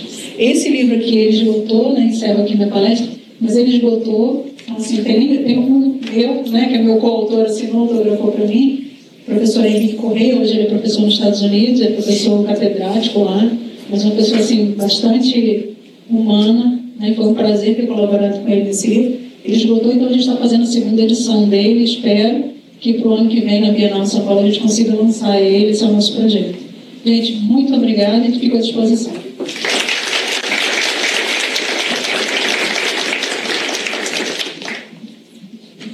Senhoras e senhores, esse material que está sendo exibido pelos palestrantes estará disponível no site da AGU a partir da próxima quarta-feira. O endereço para baixar os arquivos é o www.agu.gov.br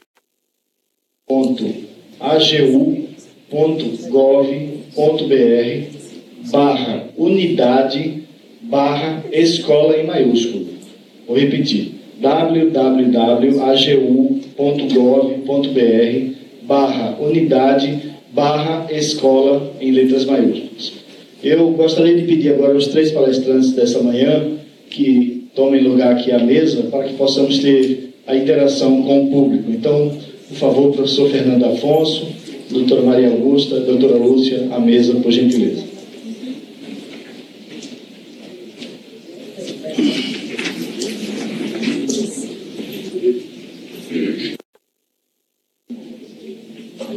A partir deste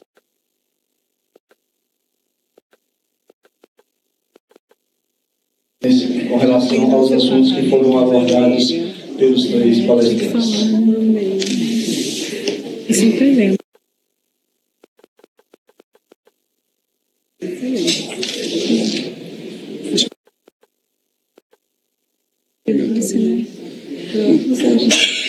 Alguém tem alguma pergunta, alguma colocação? Lá, pode, pode falar, sim, por favor. É, da Paraíba, Centro. É, você, você é, doutora, doutora Lúcia, né?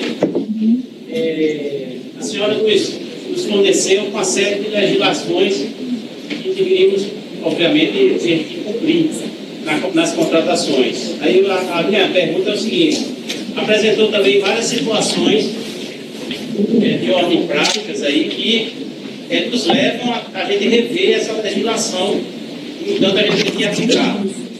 Estou lhe pergunto, já existem fundamentações baseadas nessas informações que a gente possa utilizar na fundamentação das contratações sustentáveis? Dá, dá para ouvir? É, você pede para repetir, porque está sendo então, É, doutora Lúcia, é, fica difícil aqui falar sem o microfone, mas a gente vai tentar, agora melhorou. É o seguinte, então a gente tem que fundamentar as contratações com base na legislação, obviamente. Mas ações de ordem práticas que mostram que é, nós temos que começar a aplicar essa economia, esse ciclo de economia, né? Mas tem alguma fundamentação com base em pesquisa que a gente possa utilizar? Isso vai servir mais técnica na hora da compra, porque se a gente optar por isso, a licitação, o que é que vai acontecer? Vai chegar lá na auditoria e certamente não vai bater com a legislação, porque são é, é, informações que a legislação não prevê. Aí eu pergunto, como é que está sendo feitas essas contratações, por exemplo, no âmbito dessa lâmpada? A lâmpada, além de apresentar, vou dar um exemplo aqui para que a plateia possa é, tentar entender, é, a lâmpada, além de apresentar é, mais economia nesse ciclo, a lâmpada, no caso, é amarela.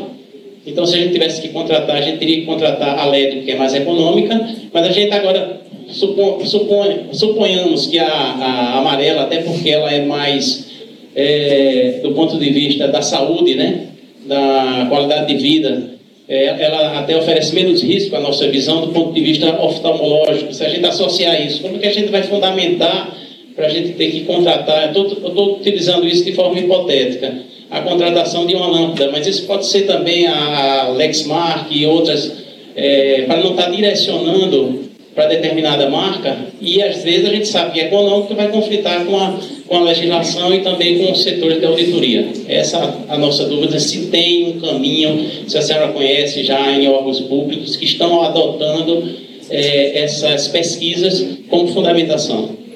Por, por gentileza, gostaria apenas de fazer um esclarecimento. É, as perguntas realmente deverão ser feitas através do microfone, porque como estamos transmitindo pelo YouTube, então as pessoas que estão no, no site também terão que ouvir a pergunta. Então por isso que eu peço que quando for fazer pergunta, aguarde o microfone chegar e aí você realiza a pergunta. Desculpe, pode responder. Eu não sei se o microfone está dando para ouvir. Está dando para me ouvir? É, eu falar. Oi. Obrigada. Eu acho que os colegas aqui vão concordar comigo, é, se não também se coloquem, é, a respeito. Um tempo atrás foi feito, respondendo a pergunta, é, um estudo dizendo que o papel reciclável consumia mais. Quem já viu esse estudo? Que o papel reciclável consumia mais, que estragava a impressora mais rápido. Isso era pura verdade. Isso foi feito um estudo mostrando que o papel reciclado naquela época, não é o de hoje, ele era mais absorvente, ou seja, consumia mais tinta, ele tinha uma gramatura maior, então ele impactava a impressora. Só que todo mundo que trabalhava com compra pública foi atrás do papel reciclado, reciclador, né? E aí começou a ter problemas, e aí a gente sabe que o órgão público para ter manutenção de equipamento é complicadíssimo, então muitas impressoras foram descartadas em razão do papel. É, então, foi, foram feitas duas publicações, no Brasil só tem duas publicações a esse respeito. Então, esse tipo de publicação científica, respondendo a sua pergunta, serviria de, de embasamento. Em relação às lâmpadas, o que eu fiz aqui foi uma dinâmica, até porque as, as lâmpadas incandescentes desde 2016 não são mais produzidas no Brasil. E as que a gente consome, que são as compactas, que são as LEDs, né, são produzidas na China. Não tem produção no Brasil. Então, isso é, é uma questão muito mais ampla e muito mais complexa. E fecho é, a resposta a você e os colegas devem querer contribuir é, falando a respeito de uma, de uma assessoria. O órgão que eu trabalhava aqui em Recife, trabalhei por 10 anos, eles estavam querendo adquirir squeezers, não tem aquelas garrafinhas né, de, de, de beber água, para um evento. E por duas vezes foi rejeitado o pedido de licitação deles pela GU por conta é, de que, que não atendia critérios de sustentabilidade. Que eles teriam que adquirir copos, enfim, foram colocadas outras recomendações. E na terceira vez a pessoa passou para a nossa equipe e perguntou: é, vocês poderiam ajudar a argumentar? Porque a gente acha que o squeeze é, é sustentável. Então a gente foi embasando em vários segmentos, por exemplo, descartamos a caneca em razão do peso, o volume e o peso de transporte, e a quebra que não permitia né, o reuso. é, mas sim a reciclagem. Aí justificamos que o material poderia ser utilizado em vários eventos. As pessoas que fossem ao evento teriam desconto, por exemplo, na inscrição. Então, utilizamos o argumento científico, técnico, nós pesquisadores, para ajudar o pessoal na hora da compra pública. Então, esse é o tipo de parceria que a gente tem feito e tem funcionado. Agora, não existe uma receita única, estamos aprendendo juntos. Obrigado. Eu queria só complementar a resposta, porque é bem interessante essa pergunta, porque é, o, que, o que a lei determina é justamente a inserção de critérios de sustentabilidade. Né? Então, assim, essa decisão, né, como a pergunta traz, ela é uma decisão que juridicamente a gente não tem a solução. A solução ela, ela vem da área técnica, porque você está procurando né, é, produtos que sejam ambientalmente melhores. Mas às vezes ele pode ser ambientalmente melhor sob um aspecto e sob outro ele não ser. E a gente às vezes vai ter esse conflito, às vezes vai ter o conflito, por exemplo, da questão da produção, a questão do transporte, e tudo isso é uma cadeia que aí a gente, como bem disse é, Lúcia, é uma questão que a área técnica, né, por isso que assim, acho bem interessante o Ecos de Pernambuco, que tem essa parceria com a universidade, porque a gente realmente vai precisar dessa outra, dessa outra área que vai nos informar, entendeu? Porque a legislação ela não vai trazer. E nem, e nem fique tranquilo, ninguém vai, o TCU ou algum órgão de fiscalização vai necessariamente, assim, digamos, punir ou sancionar se, se se toma uma decisão baseado num critério de sustentabilidade que se achou que tinha ali naquele produto, essa decisão foi tomada com, a, com base nesse critério, ela não vai ser respeitada. Entende? Então, assim, não, não, acho que não precisa ter essa preocupação de, de ter que ter, assim, o certo, né? É, é uma, uma, digamos assim, é uma intenção de colocar um critério de sustentabilidade. Por exemplo, adquirir lâmpadas, lâmpadas LED que economizam energia. Isso aí está justificado. Né? Então, assim, é, toda essa, essa, essa seara técnica complexa do que a gente fala do ciclo de vida é uma complexidade muito grande que se de repente a gente, na hora da contratação, for, for ter que acertar nisso, e quanta consultoria vai ter que ser feita, ninguém faz nada. Então, o importante é fazer. E pode fazer e deve fazer. Tá? Que isso não, não nos paralise. Né? A minha preocupação que eu quero trazer aqui é que Quanto à questão jurídica, não tenham preocupação, porque assim, o que a gente tem visto, depois nós vamos ter uma, uma palestra sobre esse tema, a posição do TCU é muito tranquila. Inclusive, eu entendo que a posição dos tribunais, a gente pelo menos a gente não pegou nenhuma ação é, questionando né, em tribunais, a gente não teve, na AGU, a gente não teve conhecimento, e acho que até com esse trabalho do Ecos de Pernambuco e de toda a gestão pública socioambiental que está havendo no país inteiro, inclusive nos tribunais superiores, muito forte, né? A resolução do, do, do CNJ e tudo. Eu acho que isso a gente não tem que ter essa preocupação. Agora, claro, é salutar a sua preocupação. Eu quero, eu quero fazer o melhor, um ambientalmente melhor. Então, eu vou é, ter uma consultoria. Mas, assim, que isso não nos paralise também. Essa é a minha preocupação. Juridicamente, não precisa ficar paralisado. Não pode, não deve. Bom dia, parabéns a todos os palestrantes. Essa pergunta é para o doutor Fernando Alfonso, eh, com relação ao tripé da questão social, econômica e. Me esqueci do outro tripé. Porém, o que acontece? Esse tripé, que tornou muito famoso ele, o Banco Mundial. Se você traz esse tripé para a realidade do Brasil e pesquisa a sustentabilidade legal, por exemplo, e pesquisa leis, se você pega a legislação federal no Brasil, com certeza tem mais de mil leis a nível legal. Só resoluções do CONAMA você tem mais de 400. Se você pega a lei estadual de Pernambuco, tem mais de 200 leis de meio ambiente. E se você vai a nível municipal, você tem um carnaval de leis. E o que acontece? Para falar de sustentabilidade, nós temos que ter uma leitura transversal. Você acha que é possível falar de sustentabilidade legal com tantas leis e ainda não falei das normas da ABNT? Então, como é complicado a questão legal dentro da sustentabilidade? O artículo 3 do Código Civil do Brasil é contundente e diz: ninguém se excusa em cumprir a lei alegando que não la conhece. E fim de conversa. ¿cierto? Entonces yo quería saber esa cuestión de la sustentabilidad con la, en la cuestión legal. Otro aspecto es la sustentabilidad política. Por ejemplo, nos hemos trabajado en proyectos de aterro sanitario consorcial. Vea, en un proyecto de un aterro sanitario en cinco municipios, casi dos millones de reales consumidos. El aterro era viable técnicamente, económicamente, ambientalmente, socialmente, legalmente y la cuestión política insustentable. O aterro no aconteció. ¿Por qué? Porque los cinco prefeitos no se entendieron políticamente. Entonces, yo acho que cuando estamos tratando de la sustentabilidad, también no podemos esquecer esos dos aspectos en nuestra realidad en Brasil. Esa es una cosa. La otra cosa, quería parabenizarlo cuando faló sobre los ISO, ISO, certificaciones ISO, que usted fue contundente y dice que son instrumentos económicos. Y eso es ética, eso es verdad.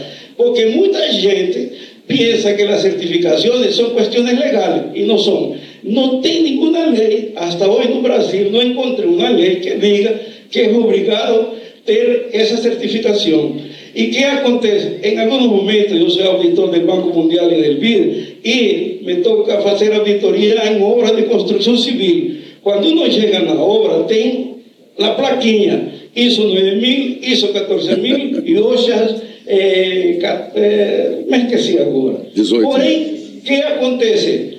Que en la mayoría de las veces quien ejecuta la obra son empresas tercerizadas. ¿Y qué acontece? Esas, obras, esas empresas tercerizadas ni saben qué es una certificación de la ISO. Y ahí, cuando usted llega a la obra, la pessoa quer impressionar con esa certificación. Y yo acho que falta mucha ética en ese aspecto. Me gustaría escuchar su opinión. Con relación a la doctora María Augusta, también me gustaría una humilde pregunta. No Brasil, las comisiones de licitaciones son verdaderos pentágonos americanos. Son unos grupos tan fechados que siempre están ligados a la presidencia o a la dirección. Difícilmente usted puede hacer un cuestionamiento cuando se trata de la sustentabilidad. Yo quería saber también alguna metodología para saber llegar en esas comisiones de licitaciones y ser más sustentable, porque hasta hoy los términos de referencias, ¿verdad? La ley de licitación es clara. Si usted pega el artículo 3, si no me equivoco, que es un proyecto básico, a la tan siete ítems. El último es impacto ambiental y seguridad del trabajo. Ya eso es una revolución. Y ahí esa comisión de licitación totalmente fuera de la realidad de la sustentabilidad. Y para la doctora Lucia, eh, también que es una autoridad en logística reversa, yo fiquei así eh, contento pelo optimismo seu de que europeos, americanos, italianos y todos ven no Brasil a, a visitar la experiencia logística reversa. Aí eu fico pensando que pasados tantos años, las prefecturas municipales en los más de 5.000 municipios de Brasil, los aterros sanitarios hasta hoy, han sido un desastre. Yo soy un humilde también profesor de sustentabilidad. Yo siempre digo que esa lógica reversa está más que todo para lógica perversa. ¿Por qué? Porque la lógica reversa fue, está inventada para continuar justificando el alto consumismo que nos tenemos. Es igual a la colecta selectiva del plástico, del vidrio, del metal y todo eso. Yo acho que el problema está más antes de nos tener esa educación para no ser superconsumistas en ese planeta. Muito obrigado.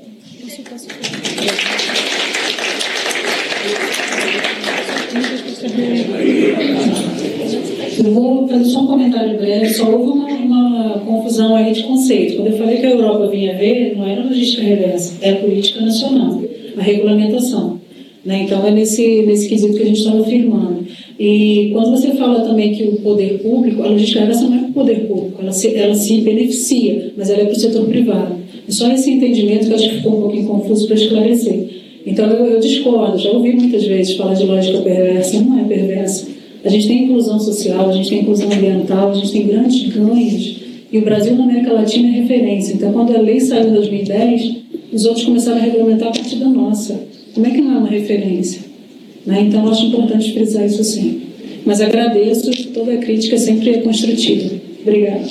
Mas eu acho assim, só fazendo um parênteses, né? me detendo um pouco, viu, Lúcia, na sua resposta. Eu acho que essa sua indagação e colocação é interessante, mas a própria lei da Política Nacional de Resíduos Sólidos, ela contempla essa sua preocupação, porque quando ela coloca aquela hierarquia, ela diz que primeiro é a não geração de resíduos. Quando você fala em não geração, você está tentando justamente coibir o consumo, né? desestimular esse consumismo, que é a sua crítica, que realmente a gente procura. Tanto que, como eu falei aqui, a gente no, Dia Nacional de Licitações Sustentáveis da AGU, a gente procurou ressaltar isso. A primeira coisa não é, não é decidir o que eu vou comprar, não. É o que a administração vai adquirir, não. A primeira coisa é pensar, realmente a gente tem necessidade de fazer essa licitação, de fazer essa compra, é necessário mesmo? A gente tem alguma forma que a gente possa não comprar, né, não adquirir? Então, isso está na lei, na lei da política nacional, que, que também explicou aqui, e que traz essa hierarquia que é modelo, a lei da política nacional de resíduos sólidos. É, a outra parte né, que veio dirigida a mim, a questão da comissão, já que eu estou com a palavra, professor, essa licença, é, eu entendo que as comissões de licitações, justamente esse trabalho que a gente tem que estar fazendo, né, os comitês de gestão, o Ecos de Pernambuco, a gente na GU, é justamente para dar essa abertura né, que, que o senhor falou aí, essa crítica às comissões de licitações, que a gente possa ter essa, essa abertura, a gente possa ter esse diálogo com essas, as pessoas que estão responsáveis pelas contratações, as pessoas que fazem parte da, das comissões de licitações. Inclusive, a gente, é, as palestras que eu venho dando, as capacitações, é muito voltada para essas comissões, para pessoas que trabalham nas, nas comissões e que estão realmente precisando, né, de ter essa abertura, de ter essa mudança de mentalidade que a gente vem falando aqui, a gente está justamente nesse de atuar com elas, de ter essa abertura dessas comissões para que a sustentabilidade possa realmente ser inserida. Eu não sei se está tá dando para ver bem aí. É, essa sua pergunta foi violenta, viu? Eu vou tentar aqui. Deixa eu tentar fazer um parâmetro entre os engenheiros e os advogados, ou as pessoas que fazem leis. Os engenheiros, pela natureza, eles, na, eles foram criados para resolver problema. Então as soluções são mais teoricamente práticas, mas eles enxergam muito curto prazo. A visão é bem fechada. Já o jurista, ele tem uma visão ampla e às vezes pode aparentar complexidade ou prolixidade.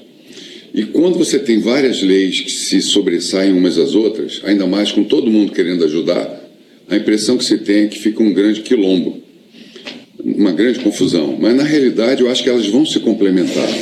Nós estamos começando a aprender a conviver com várias pessoas.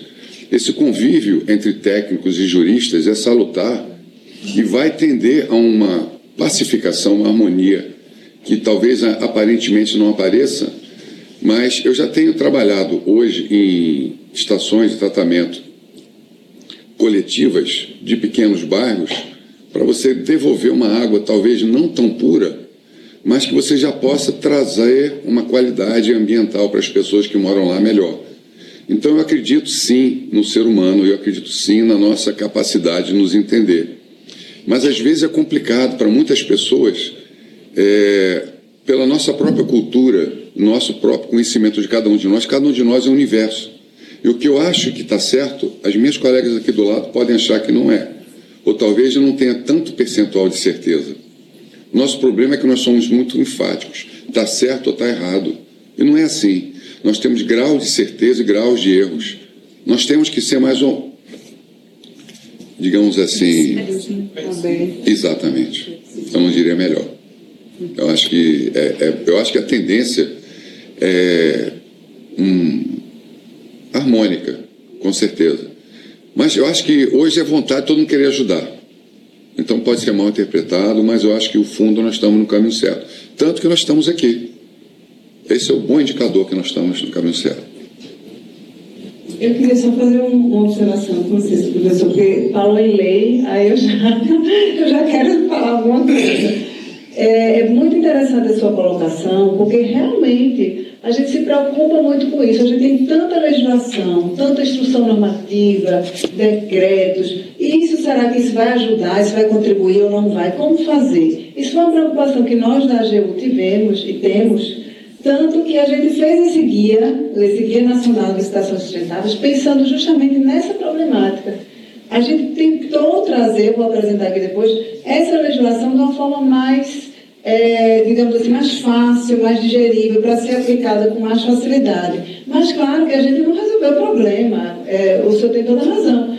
Ainda a gente tem essa dificuldade em muitas leis, que muitas vezes nós, a gente tem essa dificuldade com os nossos colegas advogados, inclusive eu mesma, que sou da área de direito ambiental, se, se não for da área de licitação, muitas coisas eu não, não, sei, eu não me lembro mais, eu já esqueci, são muitas leis. E o colega, então, do lado, que, que trabalha com licitação há anos, mas que não sabe a legislação ambiental. Então, realmente, são muitas leis e há essa dificuldade de aplicação, mas é como o professor disse, a gente está buscando essa harmonia e essa facilitação para que esses problemas eles sejam superados. E uma das contribuições que a AGU trouxe foi o Guia Nacional, que não resolve tudo, obviamente, mas que a gente está procurando contribuir. O, a, é, o TST também tem um guia de licitações sustentáveis, que também procura orientar, e tudo isso no sentido de facilitar essa aplicação das legislações, que a gente está buscando também com essa capacitação.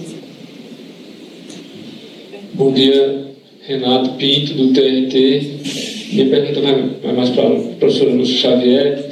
Professora, é a respeito, eu queria que a senhora falasse um pouco mais detalhadamente sobre a logística reversa de lâmpadas fluorescentes. A gente está aí na. Eu vi que o acordo setorial está prestes a sair. Eu queria que a senhora analisasse, é, avaliasse em que, em que pé está essa, esse, esse acordo setorial para sair. Porque, porque o EPS de Pernambuco está no meio de uma licitação para descontaminação de lâmpadas.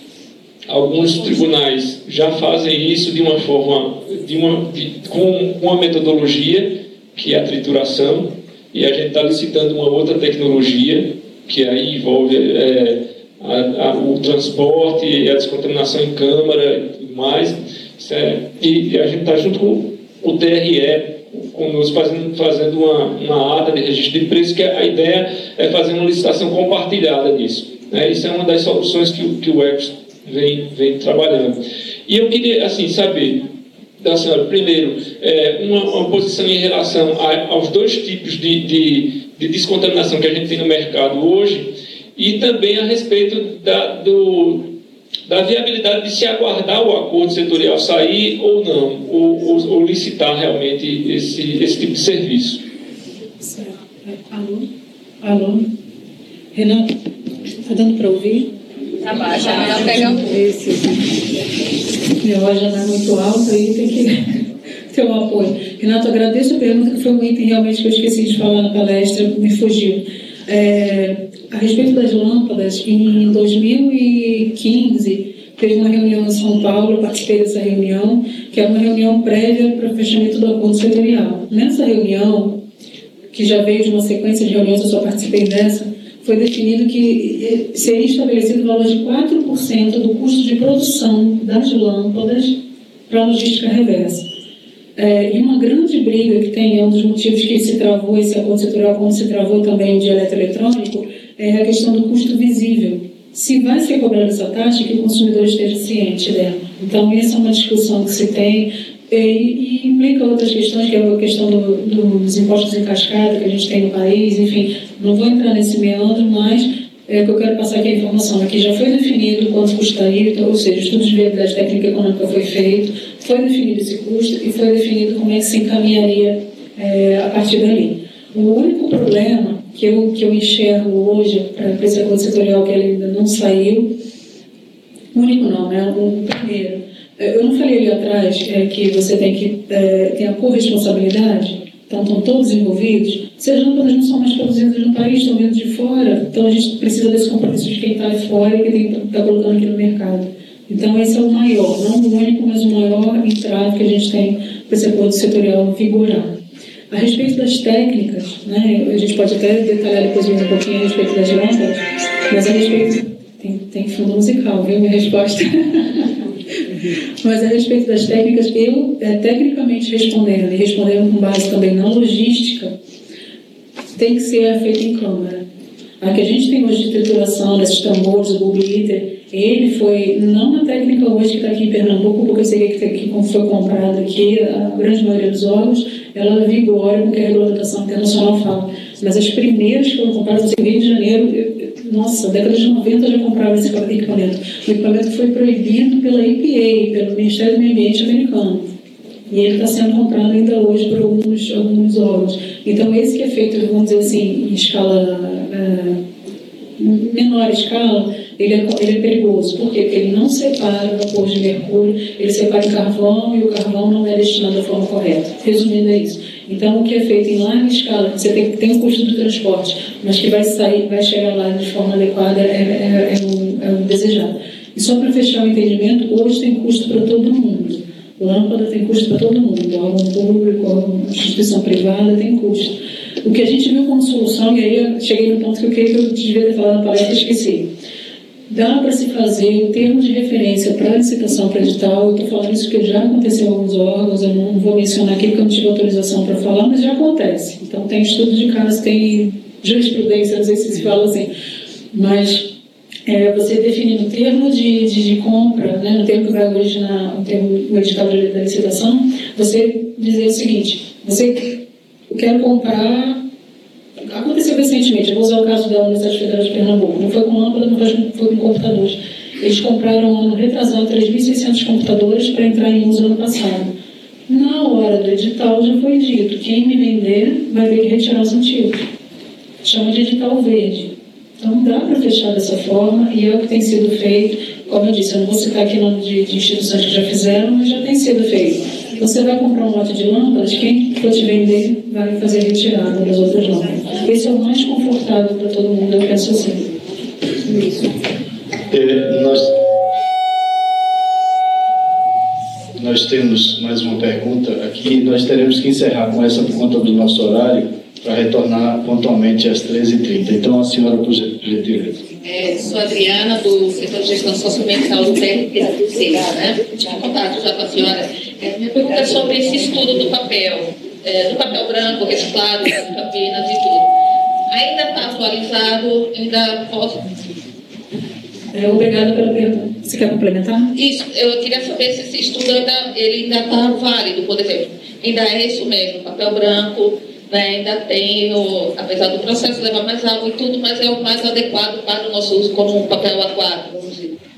É, até perguntaram isso no grupo né, que a gente participa do GPS. É, não, não está mais atualizado, não. Esse estudo ele foi feito, se quiser até passo. Um deles eu lembro que é da ABEPRO, Associação Brasileira de Engenharia de Produção, o outro eu não lembro. Mas eu posso pesquisar. Mas não está vigorando mais, justamente por essa crítica, os fabricantes de papel reciclado, do, é reciclável, reciclado, eles refizeram o processo e hoje a gramatura diminuiu, ele já tem um, um enceramento e toda uma história. Então, assim, não, não, não vigora mais e hoje ele é tão eficiente ou mais, né, dependendo da marca, e eu não posso falar, porque eu não, conheço a fundo, mas não, não vigora mais. Queria aproveitar a sua carona, a pergunta dela, com relação a copo descartável. Porque no meu tribunal TRFD, nós aqui, a gente está para para. É... A pergunta tem que ser feita no microfone. Oh, desculpe, desculpe. É, é, é, pegando carona com a colega, eu quero saber com relação a corpos descartáveis, que o TRFV está para substituir por permanentes, deixando descartáveis só para o público externo. Né? Então, eu queria saber se é melhor, em termos tanto ambientais quanto econômicos, fazer essa substituição. Copo como é robusta, né? mas, eu, mas eu só vou fazer o problema do. Se a gente substituir por canecas, mas aí vai, a gente vai gastar mais água, a gente vai gastar bucha, a gente vai gastar pano de prato, vai secar onde, tem todos esses problemas. Então a resposta é depende. É, mas assim, é, essa pergunta, assim, é, há muito tempo a gente ouve essa pergunta, né, na realidade, porque, veja só, a gente também vai trabalhar essa lavagem do copo. Entendeu? É, a, a, vocês viram que na instrução normativa, se não é bem na instrução na portaria, tem essa orientação que deve ser feito um curso de capacitação, uma capacitação nesse contrato de, de limpeza. Né? E aí orientar esse terceirizado no sentido de como lavar, da utilização de produtos biodegradáveis, entendeu? Então tem todo esse cuidado. Por isso que a gente fala que não é meramente adquirir copos de vidro, é toda uma medida de gestão que venha, vem junto com essa aquisição. Né? Porque essa aquisição do copo de vidro, que é uma licitação, ela também tem que ser junto com a capacitação do seu contrato de, de serviço de limpeza, de sua terceirização de limpeza. Entende? Então, se você junta tudo isso, aí você está garantido que seu impacto vai ser reduzido, seu impacto ambiental, em termos de, de água, de poluição, tudo. Só esclarece se o acordo setorial de lâmpadas é para grandes geradores? Só esclarece isso. É, não, o acordo setorial de lâmpadas não é para grandes geradores. O edital de chamamento, como ele saiu, não é para grandes geradores, realmente. E o Ministério do Meio Ambiente até faz meia culpa a esse respeito, né? Porque foi uma linha, acho que faltou uma vírgula, brincadeira de minha parte, mas foi, foi esse entendimento. Então, na, na, segunda parte, na segunda página, logo no cabeçalho, esse entendimento não é para grande gerador. Mas a gente tem esse encaminhamento do, do entendimento de que o grande gerador, claro, tem que se comprometer, e os editais, mais uma vez, é uma, é uma grande saída.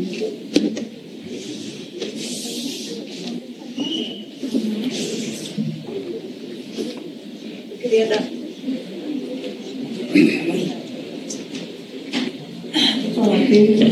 Eu queria só dar uma sugestão de encaminhamento. Acho que tem outras perguntas e o tempo não nos permitirá.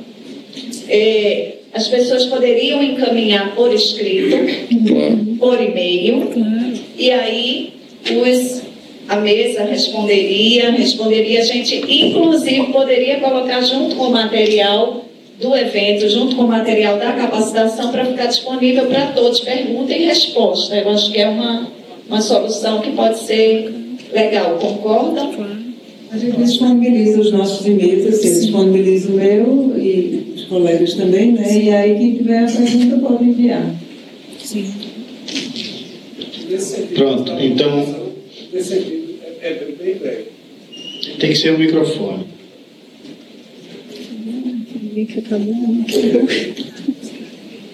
Eu sei que. Está ouvindo? Eu sei que tem uma metodologia né, da, do, da capacitação, porém eu acho interessante, assim, se pudesse reverter esse tempo final dentro das próprias palestras para as perguntas serem imediatamente, porque às vezes você foi, né? Se possível, estudar essa. Eu acho que seria mais é, também se o palestrante não se opor, né? Olha, dependendo do tema, é, a gente estruturou assim, por tema. Como, como a gente viu que essa, essas três seriam interligadas, vejam que as perguntas muitas vezes foram feitas para a Lúcia, para a professora, e, e eu também respondi. Ou, né, ou também foram feitas para mim e eles responderam, porque os temas estão muito interligados.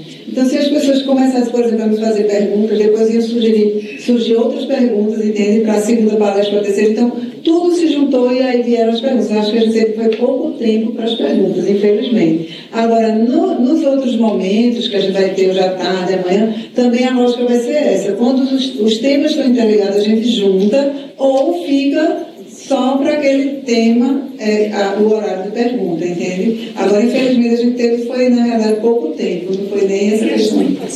É, muito assunto, pouco tempo de pergunta, exatamente. Pronto, então eh, estamos, estamos encerrando essa primeira parte, lembrando a todos que no 16º andar desse edifício há um restaurante aberto ao público, eh, para a orientação dos senhores, nos nossos elevadores, os senhores que quiserem ir ao 16º andar, digitam o número 16, aperta confirma e no monitorzinho vai aparecer qual elevador os vai levar até o 10.